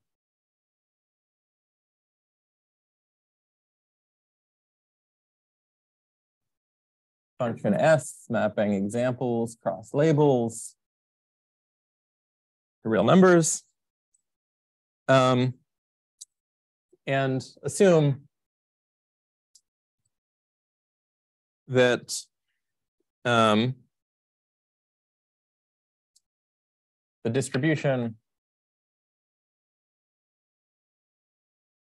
on nonconformity scores when points are sampled from this distribution, D uh, is continuous.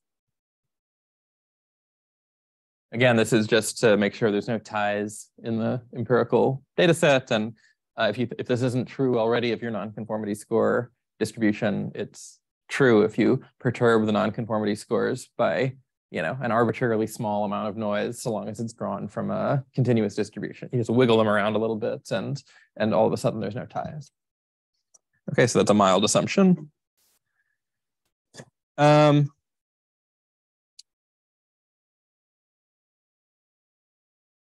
suppose our data set D consists of n points drawn IID from this underlying distribution.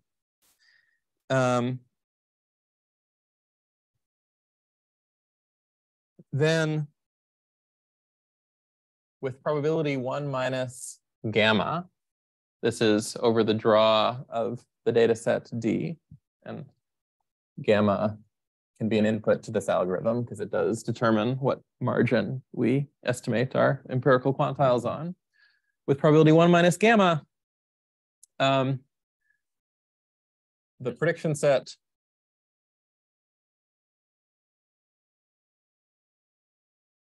ed, this function output by high probability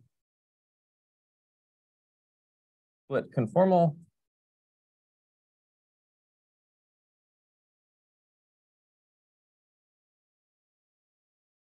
satisfies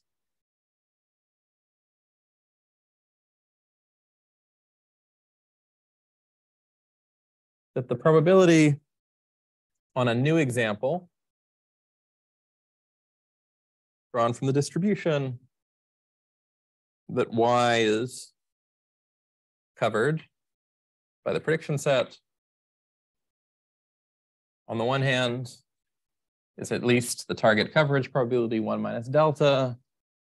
And on the other hand, is at most one minus delta plus uh, two square root of log two over gamma over two n plus one over n.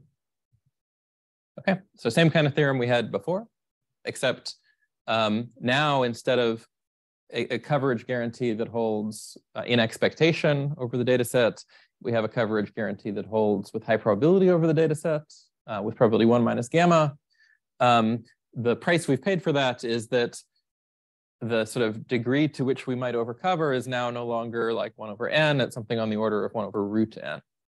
But that's sort of you know necessary because what we're doing is we're estimating a quantile with high probability and the empirical quantile might really differ from the true quantile by this much on, on the underlying distribution, right? And right, like the way to analyze this is, you, you know, like we proved in like the first or second lecture that you can apply Chernoff bound or DKW inequality to relate empirical quantiles and true distributional quantiles. And the deviation, if you have n samples, is, is this, right? So we've just estimated the empirical quantile with that's sort of larger than the target that we want by um, an amount that upper bounds the with high probability the deviation between the empirical quantiles and the true quantile. And because uh, you know the deviation is less than this with probability one minus gamma, you know, like if the deviation is on the negative side, we still have coverage one minus delta because we've given ourselves a buffer of this amount. And if it's in the positive side, we've overcovered by at most twice that amount. Okay, and that's it, right? So it's it's almost the same thing, except now instead of just computing an expectation, we're computing like a high probability bound on the relationship between the empirical quantile and the target quantile. So if you need a high probability bound on your coverage rather than just an expectation bound, you can get it. Um, you know, the cost is you'll have sort of this one over root n uncertainty. Okay, so you know we've strengthened the the sort of in expectation part of the conformal prediction guarantee. How about the marginal part? Um, well, we know how to we know how to compute uh, quantiles in in ways that are stronger than marginal as well, so we can apply those techniques here.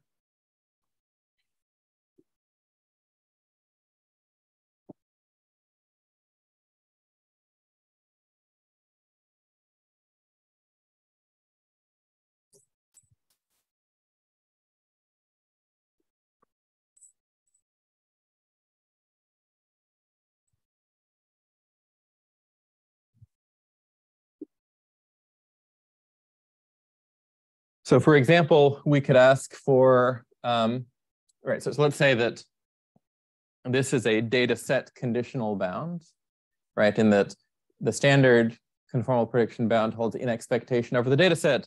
Since this holds with high probability, it holds with high probability conditioned on the data set. We can condition on more stuff. And so we might want to condition on the data set and groups.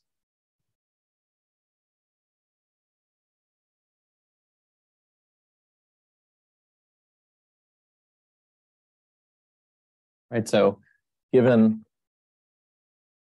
some collection of groups, just as before, arbitrary subsets of the feature space that could intersect, we might want group conditional guarantees, right? So the probability that a new point sampled from the underlying distribution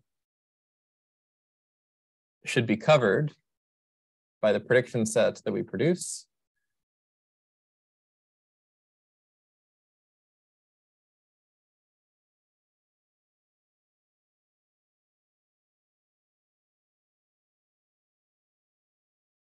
should be roughly equal to one minus delta, uh, even conditional on membership in some group G for all of the groups in this set that we care about. Right, and remember, if the groups were disjoint, this would be easy. You would just separately run this procedure for each of the groups, but if the groups are intersecting, it doesn't, it doesn't make sense. What do you do when someone shows up and they're a member of five groups? Okay. Um, but we can solve this problem too. It's going to require giving a somewhat more um, refined definition of what these prediction sets are. So these prediction sets in sort of standard split conformal prediction, they're defined by like a single threshold tau, right? No matter what the example is, we include all of the labels y whose nonconformity score is less than tau. That's going to be a problem if we want coverage um, conditional on groups because the nonconformity score distribution is going to be different for different groups. And so if we want to have 90% coverage for every group, we can't compare those nonconformity scores to the same threshold tau because these different nonconformity score distributions will not have the same 90th percentile quantile. Okay, but um, we can define a class of prediction sets that are defined not by single thresholds tau, but by functions whose job it is to predict quantiles as a function of x. Okay. So, um, you know, given um, some function f mapping features to numbers that are supposed to predict quantile values, we can define the following family of prediction sets. Okay, that again are mappings from examples X to sets of labels. And we'll define them in the same spirit that we defined uh, our prediction sets previously, now parameterized by a function f. Our prediction set will contain all of the labels y hat such that the nonconformity score that we get when we plug in example X and candidate label Y hat, when this score is less than f of X. Okay, so it, rather than having a fixed threshold uh, that we compare everything to, we have a function mapping examples to thresholds and particular, in particular different uh, examples might get different thresholds. Okay, like again, prediction sets like this, parameterized like this, just have no hope of getting, uh, of being able to promise group conditional coverage because group conditional, you know, having one minus delta coverage for a set like that means that tau must be the one minus delta quantile of the nonconformity score distribution. And that just can't simultaneously be true for different distributions that have different quantiles. Okay, but conceivably, we can get what we want from functions uh, f like this. Um, okay, and in fact, like we know how to do this, right? Like what is the guarantee that we need? We need that these functions f satisfy um, group conditional marginal quantile consistency right? It should be that averaged over all of the nonconformity scores, um, conditional on membership in each group G, the fraction of the points whose labels fall below f of x should be 1 minus delta, should be the target quantile simultaneously for all of the groups G. That was just the condition that we previously called marginal quantile consistency. And so we can get um, group conditional conformal prediction sets um, by, by just outputting prediction sets like this for functions f that have been trained to be group conditionally uh, marginally quantile consistent on the nonconformity score distribution. Okay. So we know how to do that. Let's remind ourselves what the algorithm looks like.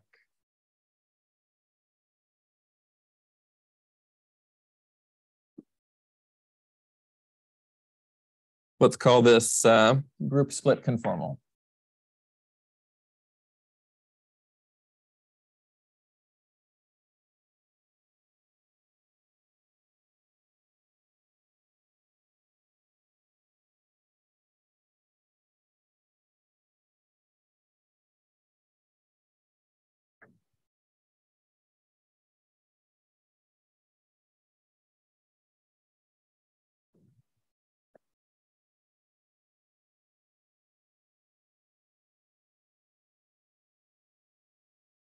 So we've got some target quantile Q, which is one minus delta.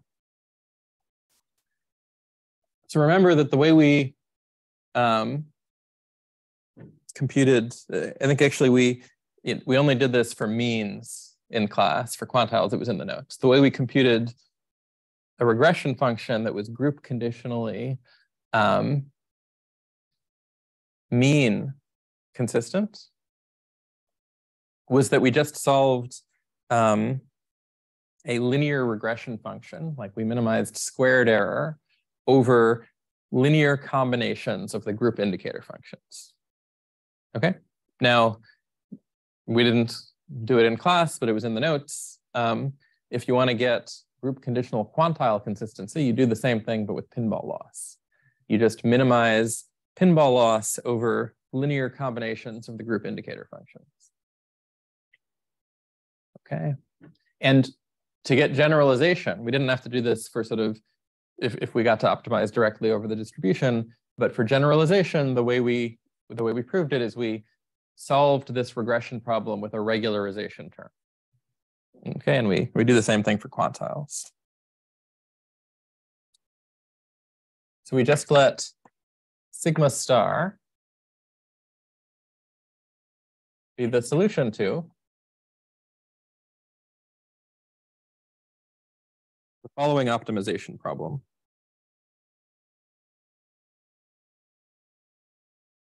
Minimize overall lambda, the expected value over the empirical distribution over D, the pinball loss targeting the qth quantile of this function f hat parameterized by lambda. And what it's trying to predict here are the nonconformity scores, right? Because we want to estimate the quantiles of the nonconformity score distribution.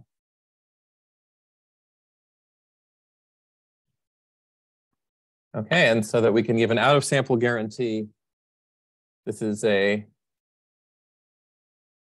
uh, L1 regularized regression problem. Okay, and what are these functions? F hat parameterized by lambda. I'll remember the function f hat of x parameterized by lambda is just the sum over all of the groups of lambda g times the group indicator function for that group. Okay, so we've got linear functions of the groups, by which I mean each function is a linear combination with parameters lambda of the group indicator functions. We are just solving the following convex optimization problem, minimize regularized pinball loss evaluated at the nonconformity scores uh, over this over this class of functions. Okay. That gives us some set of parameters, um, lambda star, and in particular, some function for predicting quantiles. We're just going to output the prediction set uh, parameterized by that function. So we're just going to output the prediction set parameterized by the function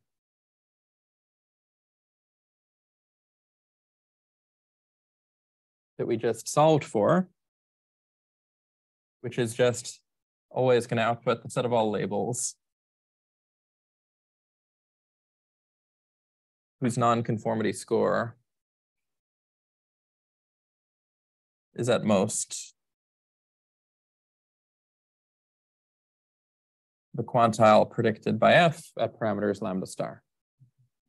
Okay.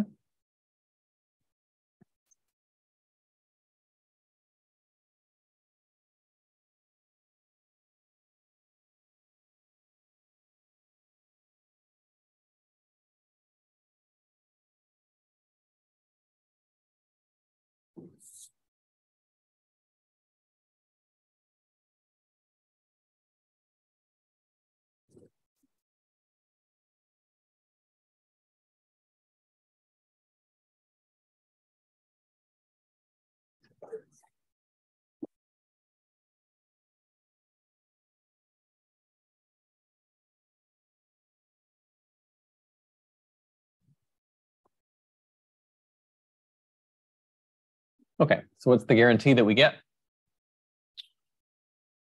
So again, pick your favorite distribution, pick your favorite coverage rate, pick your favorite nonconformity score.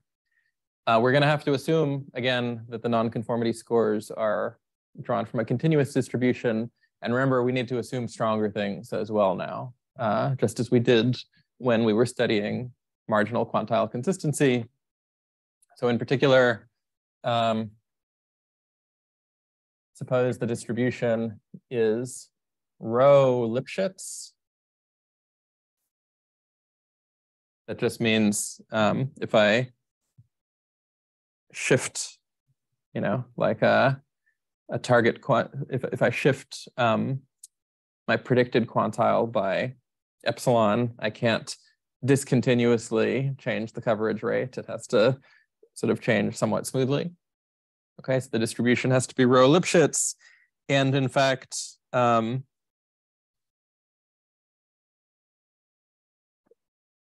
for the generalization guarantee, we also need it to be sigma anti-Lipschitz.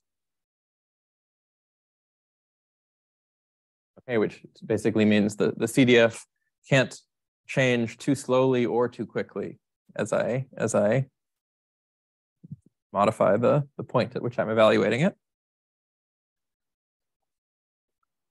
Okay. Then, with probability at least 1 minus gamma for any gamma,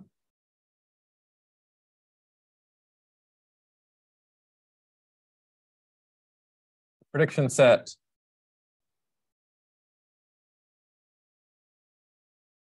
output by this algorithm group split conformal um, satisfies that for any group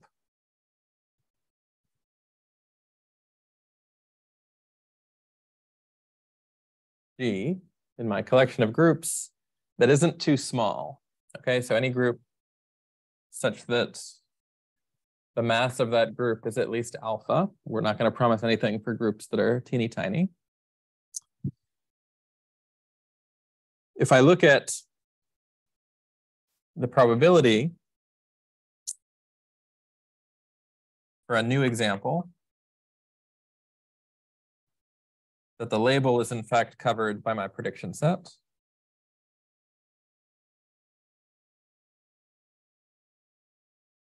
Not just marginally, but conditionally on membership in this group,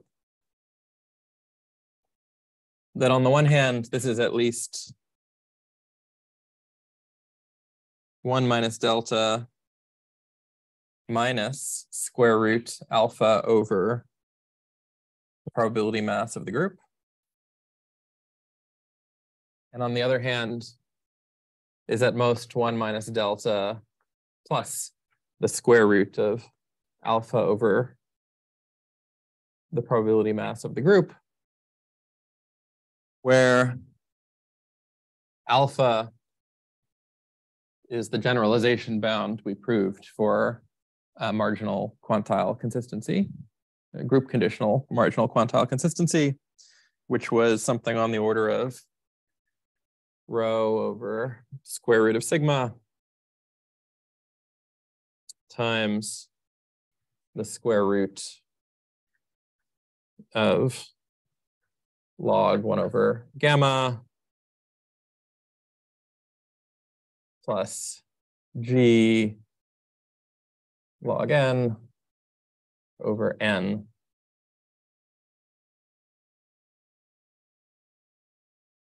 to the one fourth. Okay. Um, so maybe just to sort of, without dwelling too much on the constants, which like we have to just remember from previous lectures, let's just think about the form of this guarantee um, compared to the form of the guarantees we've been talking about so far. So previously, when we were talking purely about marginal guarantees, we asked for coverage that was at least one minus delta, and also that wasn't too much larger than one minus delta. It sort of was larger by one minus delta by an amount that sort of went down with n. Okay, which is the kind of thing we can ask for.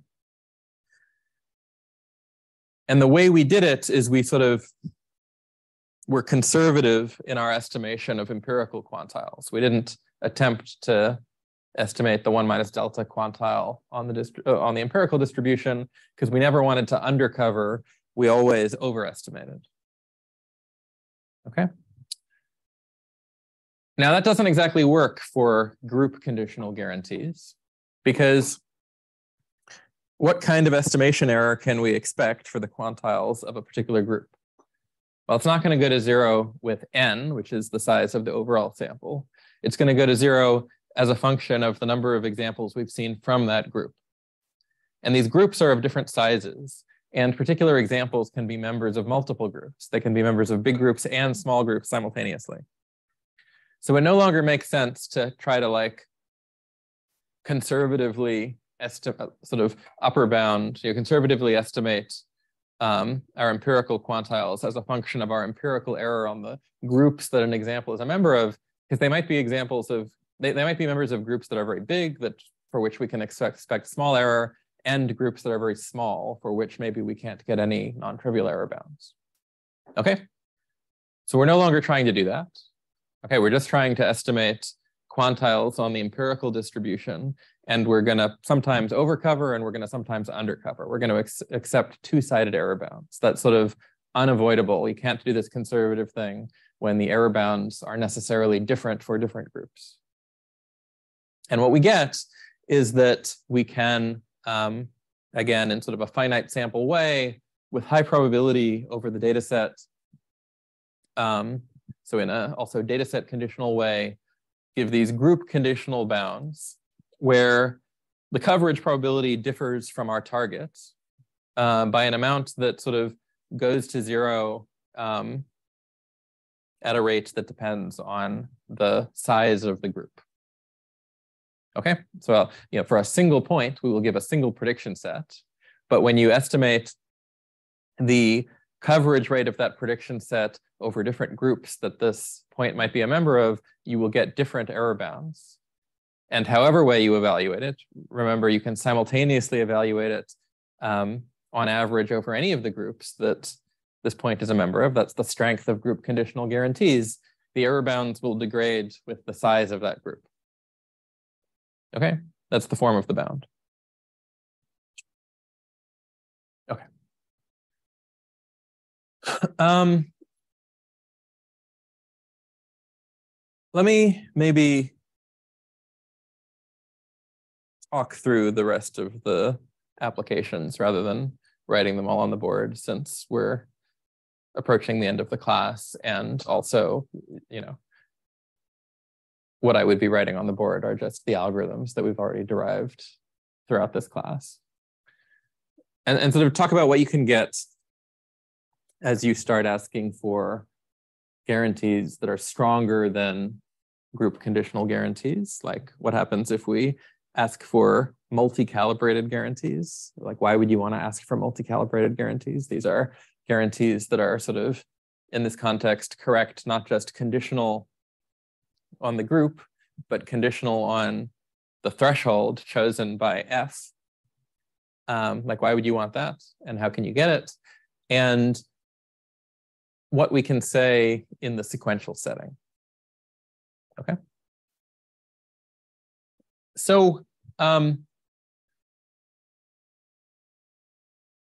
group conditional guarantees um, seem kind of nice, but it's it's still possible to cheat, or if you like, to fool yourself into thinking you're giving informative prediction intervals or prediction sets when you're not. Let's think about how that might work. suppose I had the following kind of randomized algorithm. Okay, on a new example, what I'm going to do is I'm going to close my eyes, not even going to look at it. I'm going to flip a coin. It's going to come up heads with probability 1 minus delta. And if it comes up heads, what I'm going to do is I'm going to predict the set of all possible labels, the trivial prediction set. And if it comes up tails, what I'm going to do is I'm going to predict the empty prediction set, set that contains no labels. Okay. So first, this is like a super stupid thing to do. Like it's not informative at all. It's not helping. Like whatever you wanted to do with your uncertainty quantification, this is not helpful to you. Like I've I've not looked at the features.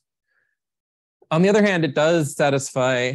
Um, it, it does cover the labels of a one minus delta fraction of examples. In fact, it does so even conditional on group membership. In fact, it does so even like conditional on everything, right? Conditional on uh, your features, right? Like for you in particular, I can tell you that before I flip the coin, at least, I'm going to cover your label a one minus delta fraction of the time because I cover your label when the coin comes up heads because I predict all of the labels and I don't otherwise.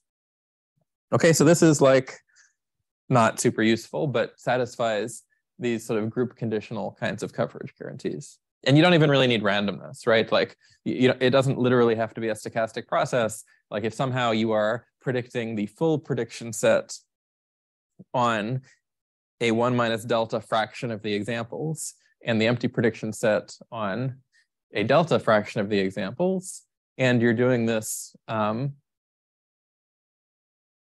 across all of the groups, then uh, you'll satisfy these guarantees. Okay, so, so this is a way you could have cheated in regular conformal prediction, right? When we were just asking for marginal guarantees.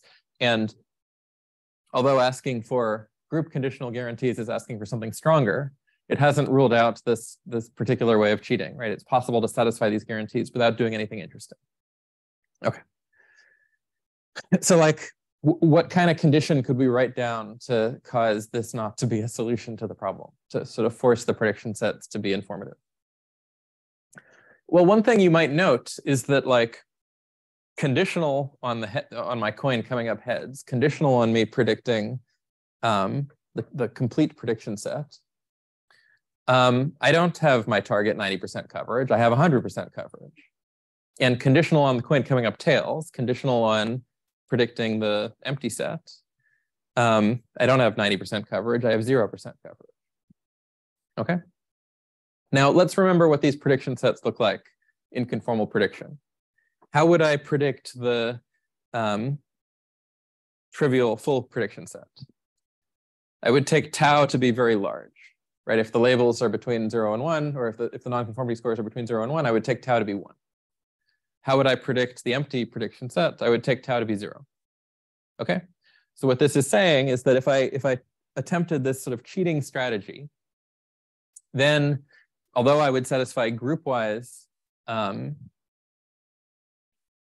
coverage, I would not satisfy my target coverage conditional on the value of the threshold. In particular, conditional on picking the threshold to be one. That's what I do for to get full coverage. I, I would I would have 100% coverage, which would deviate from my target. Conditional on picking the um, threshold to be zero, which corresponds to predicting the empty set, I would have 0% coverage. So my prediction set would have groupwise coverage, but it would not be threshold calibrated. It wouldn't be correct conditional on the threshold. So one thing I can do to sort of ensure that my prediction sets are informative, that sort of sidestep this cheating strategy, is I can ask for what I'll call multi-valid coverage.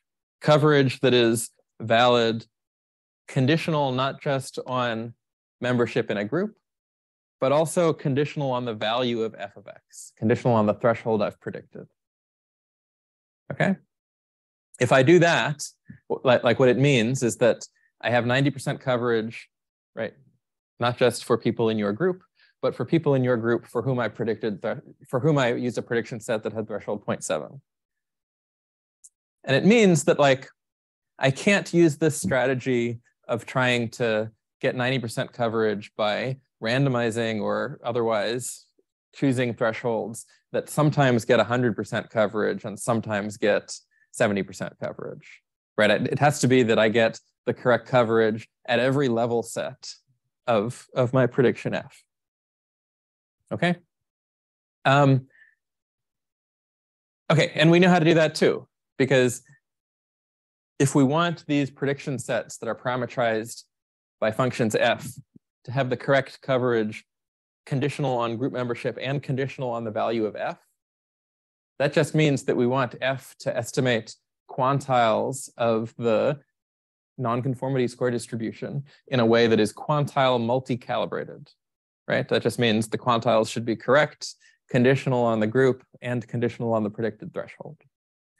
So if you just swap out the algorithm for um, computing group conditional quantile consistent F for the algorithm we gave for computing um, quantile multi-calibrated functions F, then you get a corresponding theorem that um, gives you coverage not just conditional on group membership, but conditional on the threshold itself, which, which, which finally rules out this kind of uninformative cheating strategy.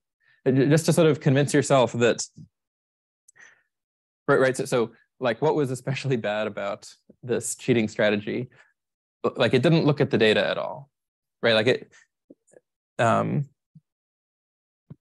so just to convince yourself that there's not some other correspondingly dumb strategy that will give you um,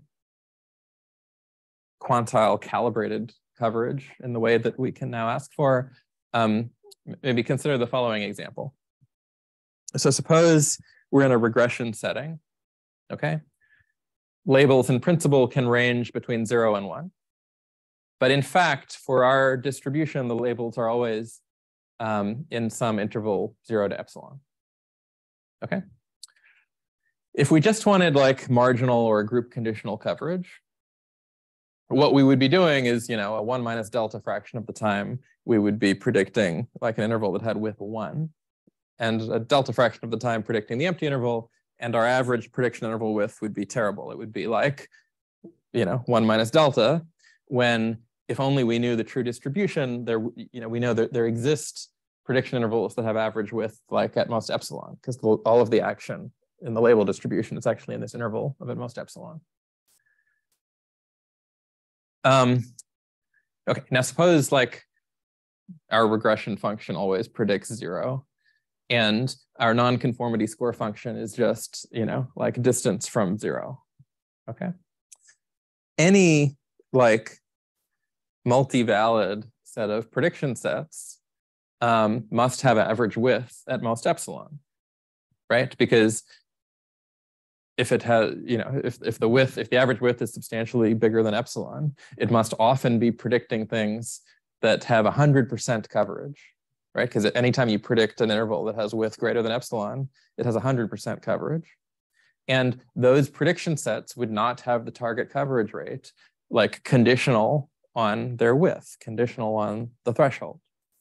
And so when we ask for threshold calibrated coverage, um, we require, in this sense, that the, the prediction sets actually be informative. Like you, it is impossible to satisfy this guarantee without knowing something about the actual um, quantiles of the nonconformity score distribution. Okay, so we can satisfy that by just swapping this algorithm out for our iterative algorithm for coming up with quantile multi-calibrated um, quantile multi-calibrated um, predictors. Thank you. Um, okay. All of this is assuming that the data is drawn IID from some distribution, or at least from, you know, comes from an exchangeable distribution. Okay, so it's assuming that we've got this calibration set of labeled data. And then we're going to make predictions in the future on data that looks like the data we've seen before. Right? All of these guarantees are predicated on that. But we could also define conformal prediction in a sequential adversarial setting. What would that mean? It would mean every day we are faced with an example X. We have to produce a prediction set for that example X, a set of labels. Okay, and then only then do we learn the label. And it might be that there's an adversary, you know, the data is not drawn from a distribution, right? It might be that there's an adversary that is choosing the examples X on the label Y every day. Okay, or you know, if we don't believe in adversaries, maybe at least we believe in distribution shift. Maybe, you know, there is some, you know, like non-adversarial process that's generating these examples, but we don't know what it is and it's changing over time. It's time series data. We can nevertheless, like we can ask for an algorithm that makes predictions sequentially, produces prediction sets sequentially that empirically at the end of time has 90% coverage, uh, right? 90% of the time should have covered the label it was given by the adversary. Okay, and we can ask for these kinds of guarantees group conditionally. We can ask for them in a threshold calibrated way. We can ask for all of these things in the online adversarial setting, just as we can in the batch setting. Okay, and remember, if we use prediction sets defined this way, getting 90% coverage is the same thing as um, predicting quantiles correctly in a sequential setting. 90% marginal coverage just means that for 90% of our examples, our predicted quantile should actually be above the um, actual nonconformity score. Group conditional coverage just means on the subsequence defined by members of each group, um, we should have predicted a target quantile. Sorry, we should have predicted a value that was above the nonconformity score 90% of the time. For uh, multi-calibrated coverage, it should be that on the subsequence defined by members of a group and um, particular predicted quantile values of our algorithm, we should have um, we should have predicted something above the nonconformity score 90% of the time. And again, we know how to do all of that, right? We've given algorithms in the adversarial sequential setting that have quantile multi-calibrated guarantees. Okay? Which means, oh, and, and also simpler algorithms that have weaker guarantees, like just marginal quantile consistency in the online setting. Which means that in the online setting, in the online sequential adversarial setting, we can recover all of these same conformal prediction bounds, but without needing to assume that the data came from any kind of well-behaved distribution. The one caveat is that like, if we get to assume the data came from a well-behaved distribution, these algorithms give us ways to produce prediction sets at test time when we don't have any labels at test time. Whereas implicit in this sequential adversarial setting is that after we make a prediction, we learn well, in the in the in the quantile setting, we learn the label. Here, you know, we need to learn the nonconformity score for the label in order to run these algorithms. So there's a trade-off. On the one hand, in the sequential setting, we don't need to assume anything about the data distribution. But on the other hand, these algorithms only make sense when you have access to labels at test time. Natalie. So I, I get the intuition for how this one minus delta um, like for asking for exactly that, like makes me just something informative. And then also the other thing you said about how like, okay, here's one way you could cheat. Like we'll stop that by doing this. Here's another way we'll stop that by doing this, right? Um, but is there some sort of like a like a proof that says like, okay, once you have all these things, like like I guess is there some sort of metric that we can use to directly measure the informativeness that we're getting at? Let's see. So you talk about the expected size, for example. Yeah. So, so like here's one thing you could here, here's one ambitious thing you could ask for.